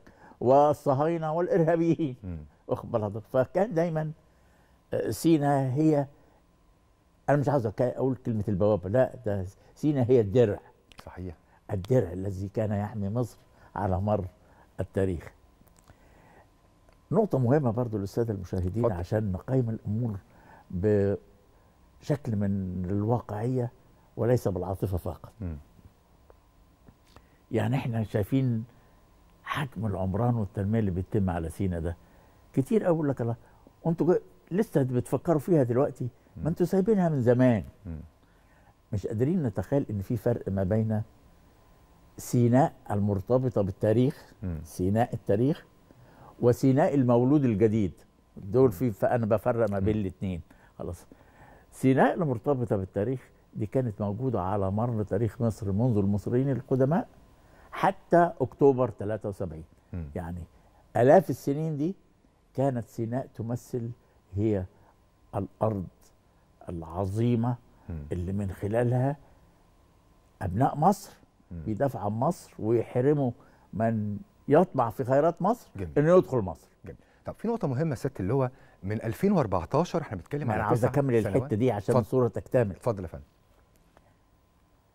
إذا لغاية أكتوبر 73 م. كانت هذه البقعة من أرض مصر الغالية تمثل الحصن والدرع الذي يحميها من أطماع وغزوات الآخرين م. إيه بقى اللي عملته أكتوبر 73 م. أكتوبر 73 لقامت الطرف المعادي لينا درس جعلته يتحول إلى السلام م. بالتحول إلى السلام أصبحت سينا مولود جديد. يعني عمره بقى نيجي نقول إيه بعد ما وصلنا إلى اتفاقيه السلام في 79 يعني من بداية كده التسعينات بدأت تبقى سينا المنظور الاستراتيجي لسينا اتغير صحيح. بدل ما كانت هي أرض المعارك والحرب والدفاع عن مصر تحولت إلى الله دي سينا دي أرض الخير صحيح كيف تحول بقى المنظور من منظور عسكري للقتال والدفاع إلى منظور للعمران والتنمية جميل اسمح لي في النقطة دي لأنه اتفضل. هذا المنظور مهم جدا لكن للأسف الشديد من 2014 ودي نقطة عايز أثيرها مع حضرتك إنه كان في حرب ضد الإرهاب وكان في عمليات إرهابية بتحصل في سيناء بالرغم من ويلات الإرهاب على مدار سنوات والحمد لله يعني السيد الرئيس في فبراير الماضي أعلن يعني إنه سيناء أصبحت خالية وتم القضاء تماما على كل البؤر الإرهابية، لكن السؤال هنا إنه بالرغم من عمليات الإرهاب إلا إنه الجانب التنموي أو جانب التعمير كان مستمر، يعني يد كانت بتحمل السلاح في وجه هؤلاء ويد أخرى كانت بتبني وتعمر عشان هو ده الهدف في حماية الأرض لازم أحميها بالبنى والتعمير ولا أتركها خالية يعني. ما ده كان الحقيقة. قرار استراتيجي على مستوى القيادة السياسية يعني بعتبره من القرارات الناجحة جدا الحقيقة. م. لأن نجاحه فعلا كان له رؤية. م. أن التنمية صحيح. سلاح رئيسي في مقاومة م. هذا الإرهاب. زي الجيش بالظبط آه. التنمية لا تقل أهمية عن العمل العسكري الذي يواجه هذا الإرهاب. صحيح. ودي على فكرة من الحاجات العظيمة اللي كانت في الفترة اللي حضرتك بتذكرها دي أنا بسميها بقى إحنا المولود الجديد ده كان ابتدى في في التسعينيات قلنا المشروع القومي لتنمية سينا وابتدت العجلة تدور. زي ما يبقى عندك ابن جديد بتبتدي تدخله المدرسة الأول وتبتدي ويكبر تعلمه شوية بيكبر شوية شوية مش كده؟ صحيح. الحقيقة الطفرة اللي حصلت بقى إحنا بنقول ما عمرها كام بقى؟ لو حسبنا كده هنلاقي في الثلاثينات يا دوب هتوصل 30 سنة مش كده؟ صحيح. آخر عشر سنين ما جرى على أرض سيناء بصفتي تعايشت على أرض سيناء أقول سنوات م. طويلة منذ بداية تخرجي من الكلية الحربية. وتسمح لي برضو عشان السادة المشاهدين ما نتكلمش برضو كويس على طول كده نركز في الجوانب العسكرية يعني. يعني بقول لهم نفسي حد يتصور سينا دي قد إيه؟ مساحتها قد إيه؟ حد متصور يمكن لما تذكر سينا دي للمعظم يعني. متخيلين انها زي إيه بقعة أخرى كده من الأقاليم مصر؟ آه خلاص. 61000 كيلو هي دي 61000 6% من مساحة مصر. ده أنا هشبهها بتشبيه بسيط قوي تخيل أنت المسافة من اسكندرية لغاية بورسعيد. يبقى لو حاولنا نتحرك شرقا من من اسكندرية لغاية بورسعيد وبعدين لو حاولنا نحرك جنوبا من اسكندرية لغاية المنيا. من بورسعيد لرفح كده ومن بورسعيد لسينا جنوبا كده. يعني شوف بقى المساحة قد إيه. خلاص. المساحة دي كلها دي بكل خيراتها دي لما كانت أرض بيدور عليها المعارك هل كانت هناك أي مظاهر للحياة التنموية في ذلك الوقت؟ ما كانش فيه. يعني أنا عشت. تفتكر كنا نشرب مية نشرب مية منين؟ منين يا فندم؟ كنت في وسط سينا عشان نشرب مية ما كانش في مية صالحة للشرب ما, ما فيش و... مية. ولا في طرق ولا شبكات صرف صحي ولا أي حاجة. ما فيش مية. مية أنا مش هتكلم بقى على الإسكان والعمران والخدمات لا لا بقول مية. خلاص. تخيل وإحنا في وسط سينا عشان تشرب مية. كان عندي عربية لوري. فيها دف امتص مية المكعب ده. تخيل ابعت أجيب المية يا إما من السويس يا إما من الإسماعيلية 120 كيلو. من السويس من جوه سينا عشان نشرب مية عشان نشرب نضيف. مية. خلاص. كلمة لا أنساها من الضباط اللي كنت مسؤول عنهم. كانوا يقولوا لي كده يا سيادة النقيب نفسنا في لقمة خضراء. لقمة؟ شاف كلمة لقمة خضراء ليه؟ يعني بشوف حاجة ما بشوفوش حاجة خضراء خالص بناخد علب التعيين. آه وإحنا في العريش كنا نستنى القطر اللي جاي اللي كان بيطلع لغاية غزة. آخره بيبقى فيه عربية في امتص فيها مية علشان كل واحد ياخد جيركن ميه لأن ده يا دوب هتقدر تشرب كوباية شاي أو تشرب بق مية لأن الأبار نسبة الملوحة عالية. يعني ما حدش يتخيل كان الوضع إيه. خلاص. تخيل أنت بقى دلوقتي معلش مع احترامي كده كأن اللي هو علي بيقوله ده كلام من من أهل الكهف مثلا واخد بال حضرتك. اللي جرى النهارده على أرض بنية تحتية مختلفة تماما. امبارح دولة رئيس الوزراء مصطفى مدبولي قال إن خلال العشر سنوات الماضية من 2014 كان التركيز كله على البنية التحتية في سينا. يعني شبكة الطرق ومحطات الصرف والمياه وأكثر حاجة تم إنفاقها إحنا بنتكلم بلغة الأرقام حوالي 600 مليار جنيه مصري من 2014 على البنية التحتية. دي المرحلة الأولى لتطوير سينا. وحتى هو قال امبارح إنه المرحلة الثانية بتدشن ببداية بقى العمل التنموي وإنشاء مجتمعات عمرانية وزراعية وصناعية أكثر. اسمح لي بس حضرتك نروح دلوقتي يعني حان وقت موجز الأخبار موجز التاسعة. صباحا ونرجع نكمل كلامنا المهم جدا مع سيادة اللواء علي حفظي يعني محافظ شمال سيناء الأسبق وكلام مهم عن صورة سينا أو وجه سينا إزاي اختلف. نروح دلوقتي سريعا لهالة الحملاوي وموجز التاسعة. صباحا إليك هالة. شكرا محمد.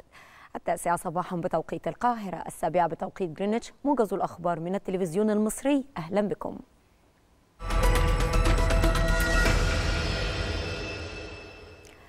تفقد رئيس مجلس الوزراء مصطفى مدبولي جانبا من قوافل المساعدات الإنسانية والإغاثية المتمركزة بمنفذ رفح البري انتظارا لعبورها إلى الجانب الآخر. وخلال زيارته لمحافظة شمال سيناء توجه رئيس الوزراء بالشكر لقيادات المجتمع المدني داخل مصر وخارجها والحكومات التي حرصت منذ اللحظة الأولى على تقديم مساعدات لأهالي غزة. نقلت وكالة الأنباء الفرنسية عن الهيئة العامة للمعابر والحدود الفلسطينية. قولها إن مصر قررت استقبال 81 جريحا من الإصابات الخطيرة بقطاع غزة عبر معبر رفح للعلاج في مستشفياتها. وأشارت الوكالة الفرنسية نقلا عن مصادر طبية إلى إقامة أول مستشفى ميداني على مساحة 1300 متر مربع لاستقبال الجرحى الفلسطينيين حال وصولهم إلى مدينة الشيخ زويد. أدانت مصر بأشد العبارات لاستهداف الإسرائيلي اللا إنساني الذي طال مربعا سكنيا بمخيم جباليا مما أسفر عن سقوط ما يزيد عن 400 مدني ما بين شهيد وجريح وفقا للتقديرات الأولية. وفي بيان لها أكدت وزارة الخارجية أن ذلك يعتبر انتهاكا صارخا جديدا للقوات الإسرائيلية لأحكام القانون الدولي والقانون الدولي الإنساني. يزيد الأزمة الراهنة تعقيدا وينذر بعواقب وخيمة يصعب تداركها على كافة المستويات. وحذرت مصر من مغبة استمرار تلك الهجمات العشوائية التي تستهدف المدنيين العزل في أماكن إيوائهم وبمحيط المراكز والمستشفيات الطبية التي يلجؤون إليها هربا من القصف الإسرائيلي العنيف والمتواصل. وقعت اشتباكات ضارية شرق خان يونس بين قوات الاحتلال والمقاومة الفلسطينية جنوب قطاع غزة. وأوضحت مصادر فلسطينية أن المقاومة الفلسطينية تمكنت من استهداف عدد من الآليات العسكرية الإسرائيلية أثناء توغلها في قطاع غزة وأجبرتها على التراجع وكبدتها خسائر في العتاد والأفراد. من جانبه اعترف جيش الاحتلال بمقتل تسعة من جنوده في مواجهات مع المقاومة. يأتي هذا في الوقت الذي أعلنت فيه شركة الاتصالات الفلسطينية انقطاع الاتصالات وخدمات الإنترنت تماما بقطاع غزة. وفي الضفة الغربية المحتلة استشهد فلسطيني برصاص قوات الاحتلال الإسرائيلي خلال اقتحامها مدينة طول كرم.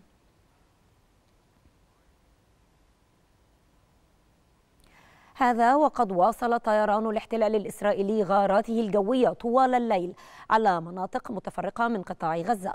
وأوضحت مصادر فلسطينية أن القصف استهدف مناطق خان يونس وجنين. وقال مسؤولون بقطاع الصحة الفلسطيني إن خمسين فلسطينيا على الأقل استشهدوا في قصف جوي لمخيم جباليا للاجئين شمال غزة. كما أعلنت وزارة الصحة في القطاع أن ما لا يقل عن 8525 فلسطينيا من بينهم 3542 طفلا استشهدوا في العدوان الإسرائيلي على القطاع منذ السابع من أكتوبر الجاري.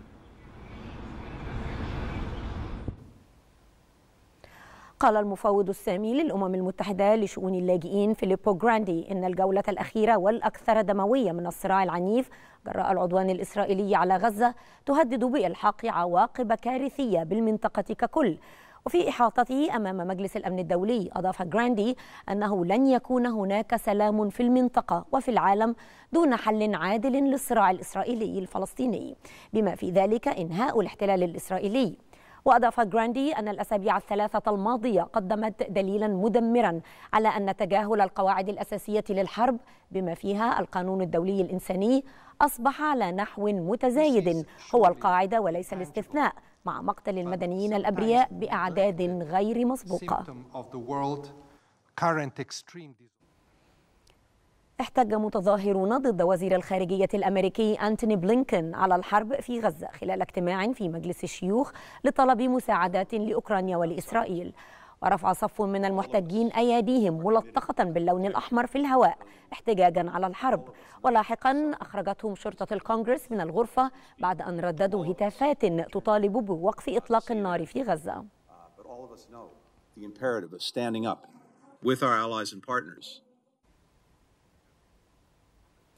أعلنت حكومة تشيلي أنها استدعت سفيرها لدى إسرائيل للتشاور ردا على انتهاك إسرائيل للقانون الدولي في غزة. وقالت وزارة الخارجية التشيلية في بيان لها إن تشيلي تراقب بقلق العملية العسكرية الإسرائيلية التي تشبه في هذه المرحلة معاقبة السكان المدنيين الفلسطينيين وإن أفعال إسرائيل في غزة لا تحترم القواعد الأساسية للقانون الدولي. يأتي هذا في وقت أعلنت فيه حكومة بوليفيا قطع جميع العلاقات الدبلوماسية مع إسرائيل متهمة إسرائيل بارتكاب جرائم ضد الإنسانية في هجماتها على قطاع غزة.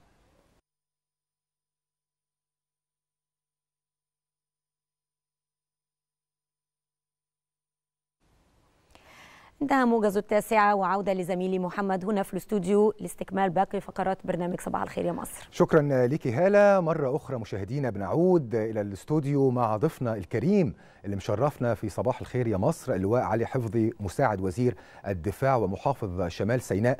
الأسبق والحديث عن تنمية سيناء وقرار الدولة المصرية اللي تجسد امبارح بزيارة رئيس الوزراء مصطفى مدبولي إلى سيناء والحديث عن تخصيص حوالي 400 مليار جنيه في خمس السنوات المقبلة لتنمية سيناء في كافة القطاعات وفي كافة مراكز شمال سيناء تحديدا. بنتكلم على رفح والشيخ زويد والعريش وبير العبد ونخل وكمان الحسنة ست مراكز رئيسية في شمال سيناء. مرة أخرى بصبح على ضيفنا الكريم اللي منور منورنا سيادة اللواء. أهلا وعايز أكلم سيادتك عن المواطن السيناوي أهلنا في سيناء لأنه كان لافت جدا امبارح رئيس الوزراء وهو بيقول إن كل المشروعات دي هينفذها فقط أهل سينا.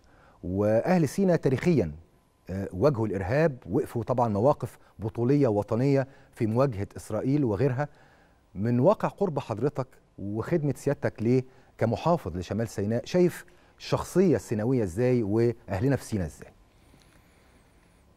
لا هم أبناء سيناء. الحقيقة تاريخهم مشرف الحقيقة على مدى نقول السنوات اللي إحنا تعايشناها معاهم الحقيقة. يمكن على مر سنين طويلة كانوا بيثبتوا دائما أنهم آه على قدر من المسؤولية والإحساس بحجم كان المخاطر اللي كانت بتتعرض لها سينا على مر تاريخها الحقيقة.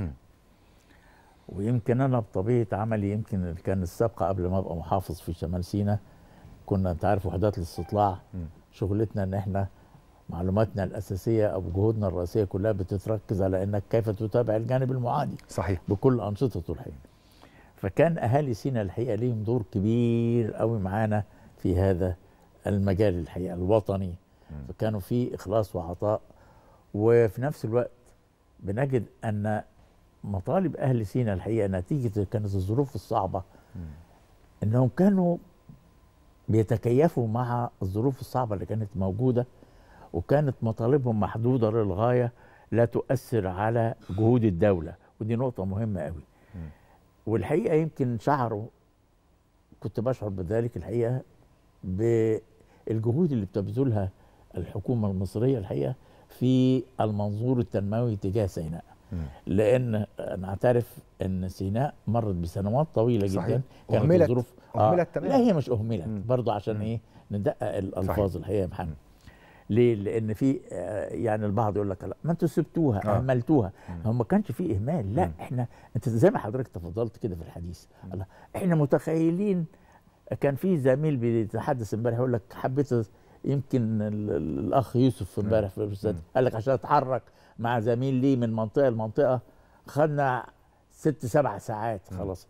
ما كانش فيه لا بنية أساسية صحيح. ولا بنية تحتية ولا خدمات. عشان نقوم تكون الأمور واضحة.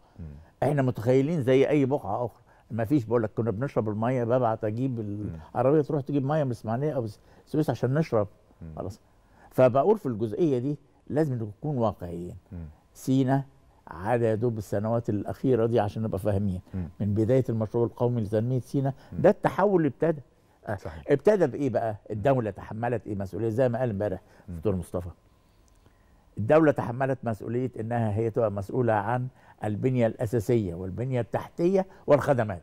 يبقى دي مسؤولية الدولة. إنك توجد لي طرق توجد لي الكباري توجد لي الخدمات المختلفة توجد لي المستشفيات توجد لي المدارس. يعني دي مسؤولية الدولة.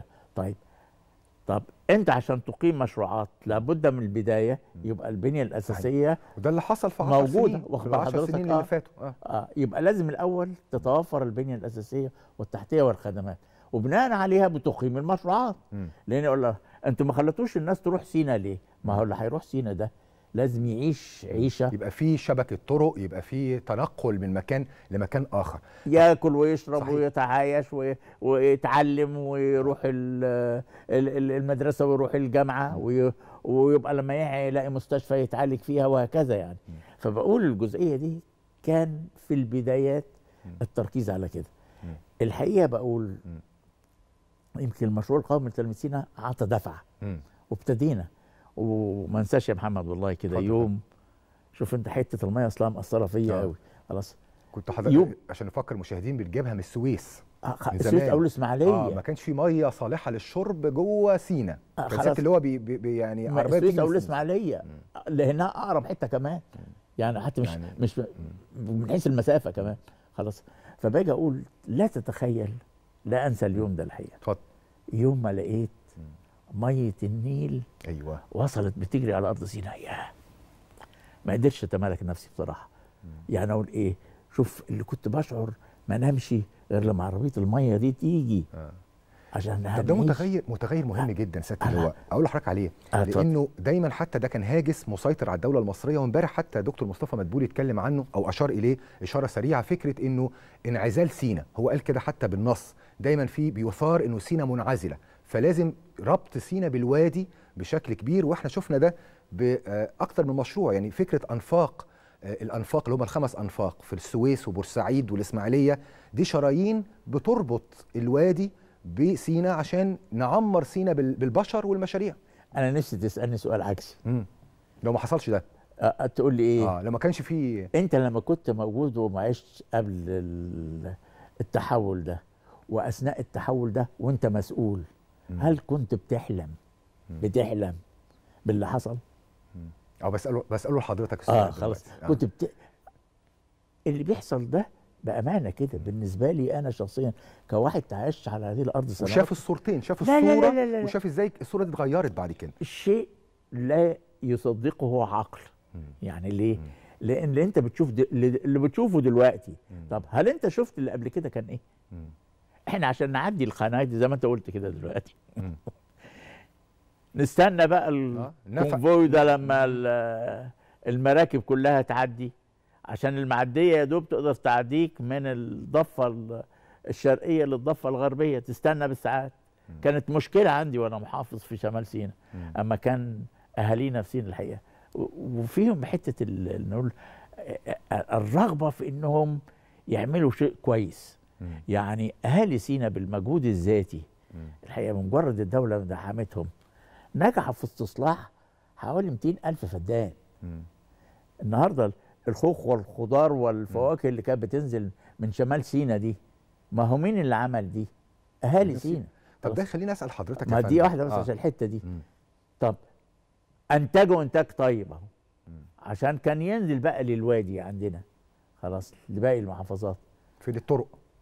الطرق وبعدين كمان يروح يتركن لغاية على القناة علشان ينتظر دوره في المعدية عشان يعدي. كان في كميات كبيرة يمكن كمان بتتلف نتيجة عدم السرعة في نقلها إلى الضفة الأخرى.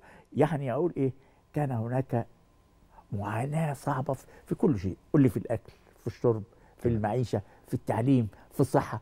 كان الناس عشان تتعالج لازم ينزل لغاية الاسماعيليه أو ينزل لغاية القاهره ما كانش مستشفيات. آه خلاص. ما كانتش موجودة يعني واخبارها ما فيش حاجة اسمها جامعة. عندنا جامعة العريش دلوقتي يعني عظيم.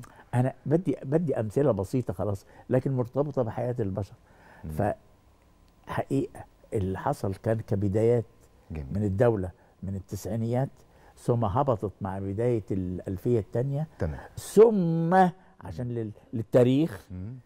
إن قناة السويس الجديدة اللي اتعملت دي كانت بداية التحول مرة أخرى جميل. لاهتمام بسينا. جميل. طب عايز أسأل حضرتك يعني بواقع الخبرة وبواقع المشاركة بشكل أو الاشتباك بشكل مباشر مع هموم الناس هناك جاي. ومع واقع سينا بوصف إن حضرتك عملت كمحافظ لشمال سيناء. إيه هي المناطق الواعدة أو المساحات الواعدة الخاصة بالتنمية في سينا. يعني إحنا امبارح تابعنا في المؤتمر الصحفي إنه في مشروعات في الصحة وفي التعليم وفي السياحة مقاومات سياحية. بعين المحافظ وبعين القريب من هذه الأرض إيه أكتر مساحة واعدة جدا في المنطقة اللي إحنا بنتكلم هنا على شمال سيناء بشكرك للسؤال الحقيقة لأن السؤال له أبعاد كبيرة قوي مش مجرد الإجابة على المنطقة زي ما حضرتك عايز عايزني أجاوب يعني. قول لي إيه أهمية سينا بالنسبة لمستقبل مصر. إيه أهمية سينا بما فيها شمال سينا لمستقبل مصر والأجيال الجاية؟ حضرتك تعرف إن سيناء الشمالية وسيناء الجنوبية ومحافظات بورسعيد والإسماعيلية والسويس ده أهم أقاليم مصر لمستقبل مصر ليه مم. تسألني كده ليه خط. أقول آه لأن هذه البقعة من أرض مصر الغالية يتوفر فيها يا محمد كل مقومات التنمية الشاملة بكل أبعادها مم. الزراعية مم. والثروة السمكية والداجينيه والتعدينية والتعدينية معادن والصناعة والعمران والسياحة والطاقة واخد بال حضرتك. إذا وبعدين سبحان الله تجد أن ما بين هذه المناطق وبعضها البعض في تكامل. يعني ما يتوفر في شمال سيناء يكملوا ما هو موجود في جنوب سيناء. الاثنين مع بعض يوجدوا التكامل التنموي. لو ربطتها بقى بقناة السويس الجديدة والمشروعات اللي بتقام مع بورسعيد والإسماعيلية والسويس لا لا لا. دي هتبقى الجسر الجديد للاقتصاد المصري لمستقبل مصر. جميل. حضرتك شفت إزاي امبارح حضور رئيس مجلس الوزراء مع اتحاد قبائل سيناء لقاء مع المشايخ والعواقل داخل الكتيبة 101 الدلالة والرسالة. لا هي دي بتبين اللحمة. يعني هو أدي نموذج من النماذج إن إحنا مصريين في الاوقات الشدة دي معلش مع احترامي كده بتبان اللحمة المصرية الحقيقة. وازاي الكل بيبقى على قلب رجل واحد. الكل النهارده بما فيها زي ما بقول كده من يعيش على أرض سيناء ومن يعيش خارج أرض سيناء الكل النهارده بينظر إلى سيناء نظرة مختلفة ويشعر بمدى أهمية سيناء بالنسبة لمصر ولمستقبل مصر. وأهالي سيناء يعني أنا سعيد كان في بداية الحديث لما حضرتك قلت إن من ضمن القرارات اللي اتخذت أن يشارك أبناء صحيح. سيناء في أنا كنت أقول كده الحتة دي كان تملي أحد الأهداف اللي أحب أركز عليها. صحيح. إن مش مجرد إن أنا أقدم له أوجه ال- التنمية اللي توجد حياة أفضل ليه. لا ده أنا عايزه هو نفسه يشتغل. يشارك ويشعر بقيمة صحيح. العطاء اللي هو بيديه وأنعكاس هذا العطاء على المجموع ككل في في سيناء. فالحقيقة كان بعتبره اللقاء طيب وفي الحميمية ما بين أهالي سيناء والدولة ككل من حيث المطالب اللي موجودة ومن حيث الرؤية الموجودة ومن حيث المشاركة ما بين الكل. ومصر دايما بقول إيه عايز تشوف مصر بتشوفها دايما في الإيه؟ في الشدة. آه في الموقف أوقات الصعب. الشدة. دي بتلاقي إيه؟ بتبان ال- اللحمة بقى والأصالة المصرية بتطلع في الإيه؟ في المواقف الصعبة. طبعا إحنا كلنا بنتعاطف مع أشقائنا في فلسطين والظروف الصعبة اللي بيمروا بيها دي.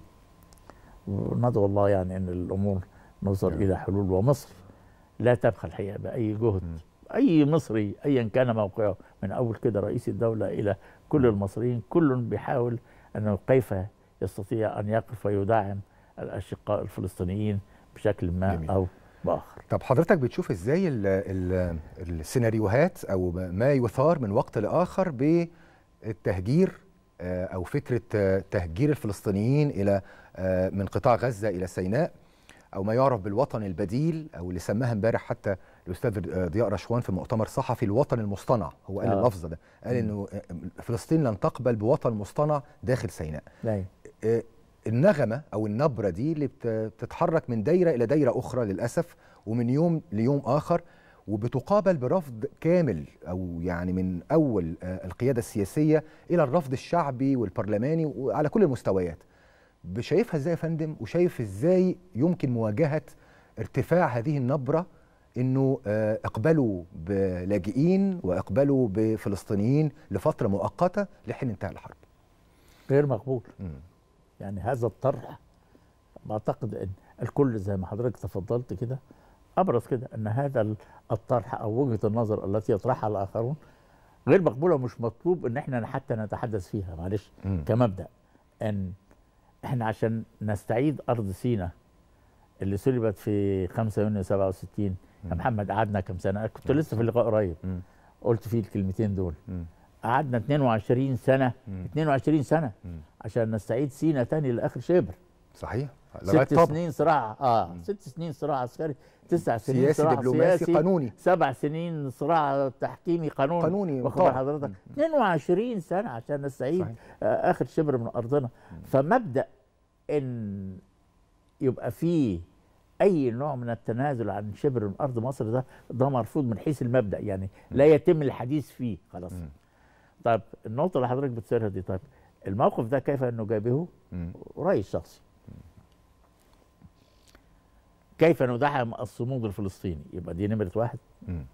كيف ندعم؟ لأن الصمود الفلسطيني بيحافظ على استمرارهم والحفاظ على أرضهم. طب. وهم الحقيقة نقول في الجزئية دي لديهم هذه القناعة صحيح. كاملة. مم. خلاص. النقطة الثانية إن مفروض إن الموقف العربي معلش مع احترامي كده يبقى ليه في في في خطوة أكثر إيجابية. بحيث يبقى ليها تأثير. أما العمل المنفرد العربي ده معلش بجد أنه إيه تأثيراته محدودة في على الطرف الآخر. الطرف الآخر يوم ما هيجد أن الموقف العربي له قوة تأثير ما بشكل ما أو آخر طبقا للظروف المتاحة أكيد الحسابات تبتدي إيه تتغير. النقطة الثالثة والأخيرة أن الرسالة ستستمر دايما. إحنا سنقدم للجانب الفلسطيني كل ده ونشجعهم ونقف جنبهم وندي لهم كل حاجة كيف يستطيعوا أن يحافظوا على أرضهم. لأن الموضوع موضوع القضية مش حكاية صحيح. حتة الأرض. صحيح. إن لو سابوا الأرض مش هيرجعوا للأرض. صحيح. فهي دي النقطة اللي إيه يجب أن تكون واضحة بالنسبة لنا. وبعدين ارجو إن إحنا نكون في الجزئية دي آه يعني إيه كمصريين إحنا بنتعاطف حتة العاطفة عندنا آه جياشة شديدة لا خلينا إيه واقعيين صحيح. واللي بيحصل ده الحقيقة شيء صحيح. ينال التقدير والإعجاب الحقيقة شوف كل المصريين بيحاولوا يقدموا الدعم إزاي للجانب وكانت كلمات واضحة جدا من دولة رئيس الوزراء امبارح إنه مصر لن تسمح بتصفية القضية السياسية في فلسطين على حسابها ولن تقبل بأي وضع يفرض عليها. كانت كلمات واضحة جدا واضحة. ومتسقة جدا مع القرار أو مع ثوابت المقاربة أو السياسة المصرية في هذا الملف. أنا بشكر حضرتك جدا. ونورتنا فعلا سياده اللواء وشرفتنا لأن حضرتك بعين المحارب وبعين من عاش فترة طويلة وخدم في سينا نقلت لنا الصورة سينا كيف كانت وسينا كيف أصبحت. يعني بعض الحاجات اللي حضرتك قلتها لنا إزاي الصورة كانت قبل كده وإزاي دلوقتي سينا بقت مختلفة ده أنت كان نفسي تسألني تقول لي طب وهيبقى شكلها إيه في 20 30 هيبقى شكلها إيه في, أقل من من ثانية آه. أقل من دقيقة عفوا. آه في 20 20 30 م. هتبقى سينا اللي كان نقول إيه اللي تحدد مستقبل مصر صحيح يعني سينا التي تحدد مستقبل مصر هي اللي هنشوفها إن شاء الله في 20 30 جميل. كنموذج من النماذج العظيمة جميل. لأبناء مصر المخلصين جميل. الأوفياء وبختم كلامي دايما بقول إيه يا محمد اتفضل عندما تجتمع العناية الإلهية مع الأصالة المصرية لأبناء مصر اللي بيحبوا مصر ما نقلقش على مصر. شرفتنا يا فندم سعدنا بلقائك وبحوارك الممتع. سياده اللواء علي حفظي مساعد وزير الدفاع الأسبق ومحافظ شمال سيناء الأسبق. بنصبح عليك مرة تانية وصباح الخير على سينا وأهلنا في سينا. نروح مع حضراتكم لفاصل سريع ونرجع مرة تانية لصباح الخير يا مصر.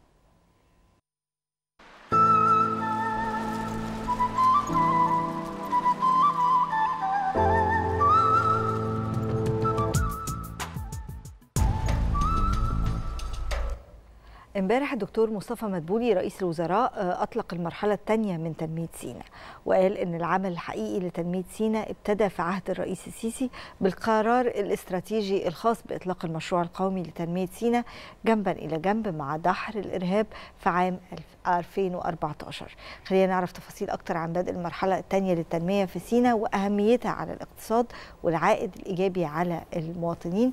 بنرحب في فقرتنا النهارده بالدكتور ماجد عبد العظيم أستاذ الاقتصاد بجامعة المستقبل. منورنا يا دكتور أهلا وسهلا بحضرتك. صباح الخير يا دكتور. صباح النور. دكتور بداية نعرف من حضرتك أهمية انطلاق المرحلة الثانية من تنمية وتطوير سيناء آه بسم الله الرحمن الرحيم. طبعا بدون شك إن المرحلة الثانية من تنمية سيناء استكمالا للمرحلة الأولى وما تم من إنجازات في هذه المرحلة. يمكن تنمية سيناء في عصور سابقة لم تكن تحظى بالاهتمام الكبير وخاصة بشكل أكبر شمال سيناء. وطبعا توجيهات سيادة الرئيس عبد الفتاح السيسي وتوجهات الحكومة في الفترة السابقة كلها لتنمية مستدامة وشاملة لشبه جزيرة سيناء. مع التركيز على المشروعات القومية الكبرى اللي بتعمل أكتر من حاجة. بتولد فرص عمل بتخلق فرص عمل لأهالي المنطقة وبالتالي بتدخل دخول لذويهم وبتحسن مستوى معيشتهم تنمية عمرانية من خلال قضاء على العشوائيات وبناء المجتمعات التي تليق بحياة كريمة لاهالي سيناء وللمواطن المصري بشكل عام.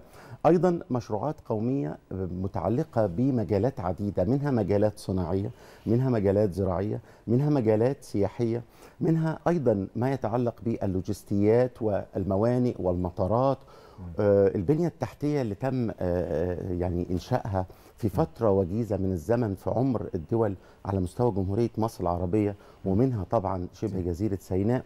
دي هي زي ما بيقولوا الأساس صحيح. لأي تقدم مش بس لأي تقدم لأي استثمارات م. سواء كانت محلية أو عربية أو أجنبية م. لأن لولا وجود البنيه التحتية بالشكل المشرف اللي إحنا شايفينه دلوقتي م. مش هيبقى في أي استثمار. ولا حتى استثمار محلي وبالتالي التوسع في هذه البنيه التحتية بشكل كبير جدا يعود على المواطن المصري بمردود إيجابي. ده اللي أكد عليه الدكتور مصطفى مدبولي إن هي دي المرحلة الأصعب في التنمية، هو قال كده امبارح هذا التعبير الأصعب إحنا عديناه اللي هي البنية التحتية خلال 10 سنوات. في الخمس سنوات المقبلة هي الخطة أو المرحلة الثانية لتطوير وتنمية سينا. تحدث بلغة الأرقام إحنا دفعنا وانفقنا 600 مليار. دلوقتي المرحلة المقبلة 365 مليار في حوالي 300 مشروع في ست مراكز أساسية في شمال سيناء. شايف تحليل هذا الرقم وما أنفق خلال السنوات الماضية بعين أستاذ الاقتصاد؟ لا شك إن لو بصينا لتحليل الأرقام أو ما يسمى التكلفة والعائد فأنا بتكلف قد إيه وإيه المردود اللي هيعود على الدولة المصرية والشعب المصري والاقتصاد المصري من هذه الإنفاقات. طيب لو جينا بصينا ال 600 مليار جنيه تم انفاقهم في مشروعات كبرى مشروعات عملاقة منها زي ما حضرتك تفضلت وزي ما دولة رئيس الوزراء تحدث وزي ما قبلها تحدث سيادة الرئيس عبد الفتاح السيسي عن إن الدولة بتركز كل جهودها على إن يكون في تنمية شاملة ومستدامة تشمل كافة ربوع جمهورية مصر العربية. كان في محافظات مهمشة وبالتالي كل التسليط للأضواء على كل المحافظات. ال 27 محافظة اللي في جمهورية مصر العربية كل محافظة بتحظى باهتمام القيادة السياسية وبنصيبها من المشروعات القومية والتطوير والتنمية وتحسين مستوى المعيشة وأيضا خلق فرص عمل لزيادة الدخول. طب لو جينا بصينا على شمال سيناء بالتحديد أين تقع تقع في شمال شرق جمهورية مصر العربية. مساحة شمال سيناء تقريبا ما يقرب من 27500 كيلو متر مربع. يقطن بها من السكان ما يقرب من 700 ألف نسمة. إذا هناك احتياجات لهذه القوة البشرية بتوافر فرص عمل بمستوى من الرعاية الصحية والتعليمية وأيضا الاجتماعية وتوفير مظلة حماية اجتماعية لمحدودي الدخل في هذه المنطقة توفير بيئة صالحة للسكن تليق بالمواطن المصري وأيضا سكان هذه المنطقة. وبالتالي هذه المبالغ الضخمة اللي تم إنفاقها في المرحلة الأولى زي ما تفضل رئيس الوزراء وقال هنبص نلاقي إن المبلغ اللي أنفق 600 مليار جنيه يعقبه 365 يعني أرقام ضخمة يتم إنفاقها وضخها للاستثمارات في هذه المنطقة وتحسين مستوى الحياة وأيضا تعتبر هذه المنطقة منطقة مستهدفة مستهدفة صحيح. لأنها منطقة حساسة جدا بموقعها الاستراتيجي وأيضا لحدودها المترامية مع أكثر من دولة وبالتالي تعمير هذه المنطقة ويعني زي ما بيقولوا كده خلق حياة متكاملة في هذه المنطقة. أنا بتكلم عن شمال سيناء. ده بيخلي كمان يبقى الفرص مش بس الوظيفية المتاحة لا فرص الأعداء أو الطامعين في هذه المنطقة تقل. وبالتالي تكون هذه المنطقة عامرة بالسكان بدل ما تكون غير مأهولة بالسكان بشكل كامل فبالتالي تبقى مطمع للطامعين. دي نقطة. النقطة الثانية أن المرحلة الثانية من تعمير سيناء والجزء المخصص لهذه المنطقة شمال سيناء 365 مليار جنيه. ده رقم زي ما تفضل دولة رئيس الوزراء وقال إحنا عدينا المرحلة الأصعب. فإن شاء الله المرحلة اللي جاية بالعكس ده المرحلة اللي جاية كمان هيبقى فيها منافع كثيرة زي ما قال إن الشركات أهالي هذه المنطقة وأيادي أهالي هذه المنطقة هم اللي هيساعدوا في ده هذه بسبب المشروعات إيه؟ ده بسبب إن سيناء الجديدة آمنة ومستقرة ففي مجال إن الناس تستثمر في مجال إن الناس تقعد وهي مطمنة في مجال إن تفتح جامعات فيبقى في مزيد من الاستقرار ومزيد من جذب فرص العمل أو جذب كمان شباب إنهم تقعد وتستقر طبعا بدون شك خلق حياة وحياة متكاملة.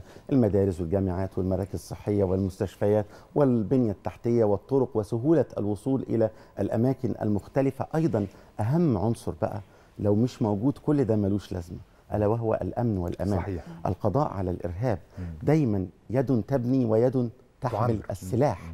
يد تبني ويد تحمل السلاح. يعني إيه؟ يعني تم الحمد لله بفضل الله القضاء على آه، ظاهرة الإرهاب اللي كانت منتشرة جدا في هذه المنطقة وبالتالي بقت آمنة آمنة لحياة المواطنين وأهالي هذه المنطقة.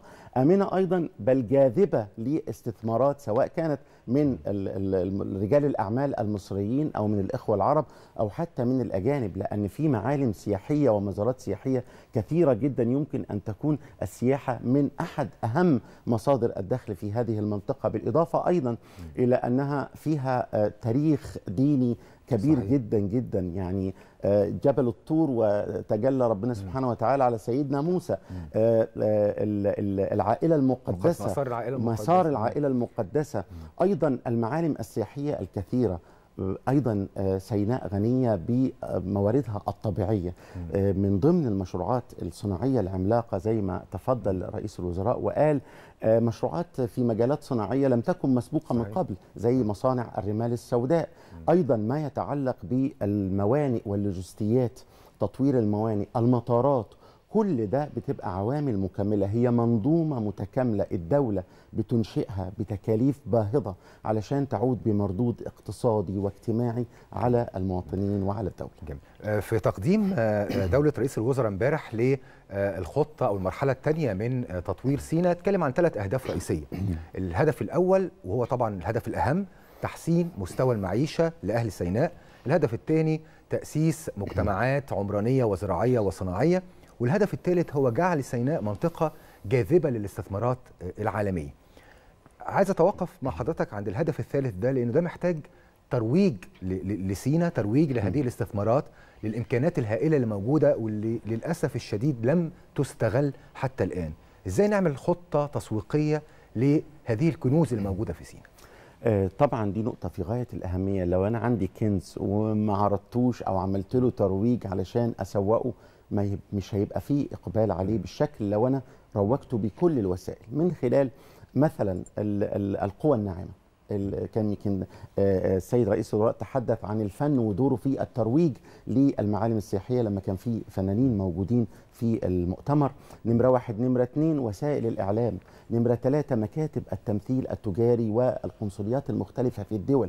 نمرة أربعة ودي حاجة بقت دلوقتي هي الوسيلة الأكبر والأوسع انتشارا اللي هي ال social media الإنترنت المواقع الإلكترونية ال website ات زي ما بنقول.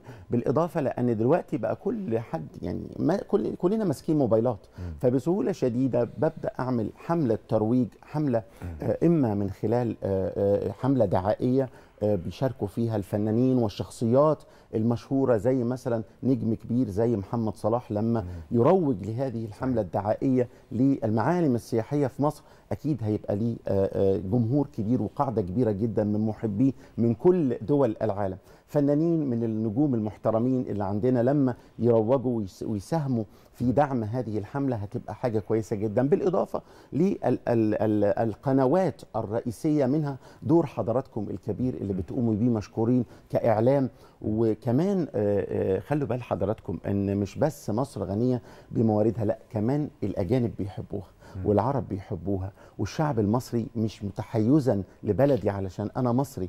الشعب المصري بطبيعته شعب لطيف وودود وإحنا شايفين صحيح. مصر محتضنة جنسيات كثيرة من دول العالم المختلفة. وبالتالي كمان بيلقى السائح في هذه الدولة معاملة كريمة وبيحس إنه في بلده التاني ما بيحسش بغربة. ودي برضو ميزة قد تفتقد في بعض الدول اللي عندها بعض المعالم السياحية. يمكن في توجه كبير في الدولة المصرية على مدار السنوات اللي فاتت إن كل أبناء الشعب المصري يحظوا بنفس الفرص ويقدم لهم ويقدم لهم نفس الخدمات. فترة طويلة قعدت أبناء سينا مهمشين وأبناء سينا كانوا بيحسوا أنه مش بيقدم لهم الخدمات الاستثمار في البشر اللي بقى يحصل مؤخرا في أبناء سينا. طبعا. لا شك أن الاستثمار في البشر من أهم أنواع الاستثمار في العالم. لأن القوى البشرية هي فعلا اللي بتصنع تقدم الدول بجانب طبعا رأس المال لكن بنشوف دول بتستورد البشر اللي بتشجع على الهجرة وبتدي مزايا عينية ومزايا مادية للي يهاجر ليها هو وأسرته. لكن إحنا عندنا ميزة حباها الله سبحانه وتعالى ميزات ميزات عديدة حقيقي مش ميزة واحدة لمصر. يعني لو اتكلمنا عن الموقع الاستراتيجي لو اتكلمنا عن موقع شبه جزيرة سيناء سواء شمالا أو جنوبا. لو اتكلمنا عن الموارد الطبيعية الغنية كل محافظة من محافظات مصر فيها ميزة نسبية إما في أيدي عاملة ماهرة وإما في موارد طبيعية وخامات. يعني على سبيل المثال وده دايما بقوله لو اتكلمنا عن صناعة الأثاث هيخطر في ذهننا كلنا مدينة دمياط. المحلة الغزل والنسيج. اللي, اللي, اللي شبه جزيرة سيناء شمالا أو جنوبا فيها أماكن سياحية غير طبيعية. فيها موارد غنية بمواردها بمواردها وخيراتها. وبنشوف قد إيه إقبال السياحة على جنوب سيناء فيما يتعلق بشرم الشيخ فيما يتعلق بالمناطق اللي بيحبوا الشعب المرجانية. في دور اجتماعي بقى كبير قامت بيه الدولة لتحسين مستوى جودة الحياة وتحسين مستوى معيشة المواطن من خلال مش بس المشاريع القومية العملاقة اللي تبنتها الدولة المصرية وتم إنجازها في فترة وجيزة أشاد بيها العالم أجمع لا كمان نقطة مهمة جدا إن ال ال الاهتمام بالقوى البشرية زي ما حضرتك اتفضلتي وقلتي بيلقى اهتمام كبير جدا ابتداء من التعليم صحيح. اللي هو أساس تقدم الأمم التعليم هنلاقي إن في مناهج جديدة دخلت م. تخصصات غير مسبوقة بما ان أنا. بعمل كأستاذ جامعي في تخصصات كليات ما كانتش مسبوقة قبل كده ما كانش عندنا قبل كده كلية اسمها الذكاء الاصطناعي وكليات عديدة على هذا المنوال بالإضافة لتحسين جودة التعليم من خلال تطوير المناهج التعليمية. نقطة في غاية الأهمية إن الأجيال المستقبلية اللي هي بقى بنسميها التنمية المستدامة. أنا بعمل تنمية النهارده للأجيال الحالية ولا أغفل حق الأجيال المستقبلية في هذه التنمية. وبالتالي التعليم وجودته نقطة في غاية الأهمية. وجود آآ آآ القنوات اللي بتوصل ما بين سيناء وما بين باقي محافظات مصر العربية اسمح لي على النقطة دي هنتكلم إزاي شرايين الحياة اللي بتربط الوادي بسينا هنرجع مرة تانية نكمل الحديث عنها لكن نروح سريعا لفاصل ونرجع مرة تانية.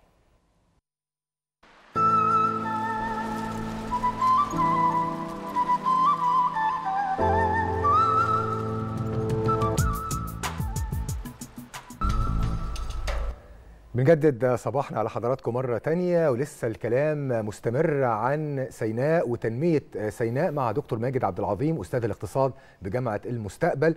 دكتور ماجد قبل الفاصل كنا بنتكلم على فكرة شرايين الحياة أو الأنفاق اللي ممتدة خمس لست أنفاق في بورسعيد الإسماعيلية السويس واللي بتربط الوادي بسينا الحلم القديم ربط سينا بالوادي.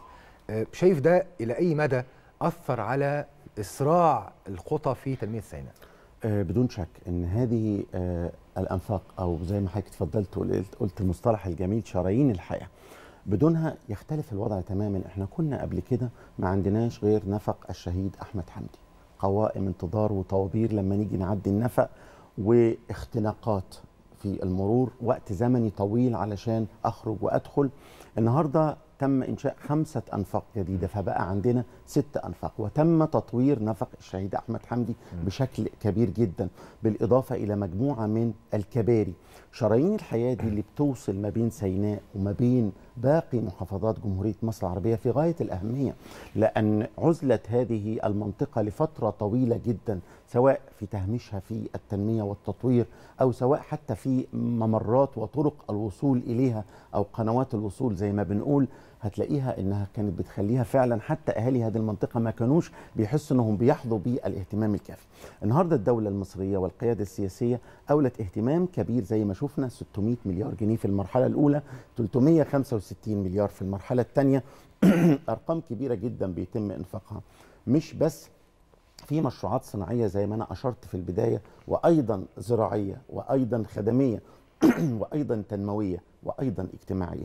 وبالتالي هذه ال ال زي ما بنقولوا كده التشكيلة الكبيرة من المشروعات اللي في مختلف المجالات بتخلي المنطقة دي تبقى منطقة واعدة ولها مستقبل كبير إما كمركز لوجستي للصادرات وإما أيضا كميناء من الموانئ الكبيرة جدا. أيضا وجود المطارات بيسهل عملية الدخول و الخروج للأفواج السياحية والوصول إليها.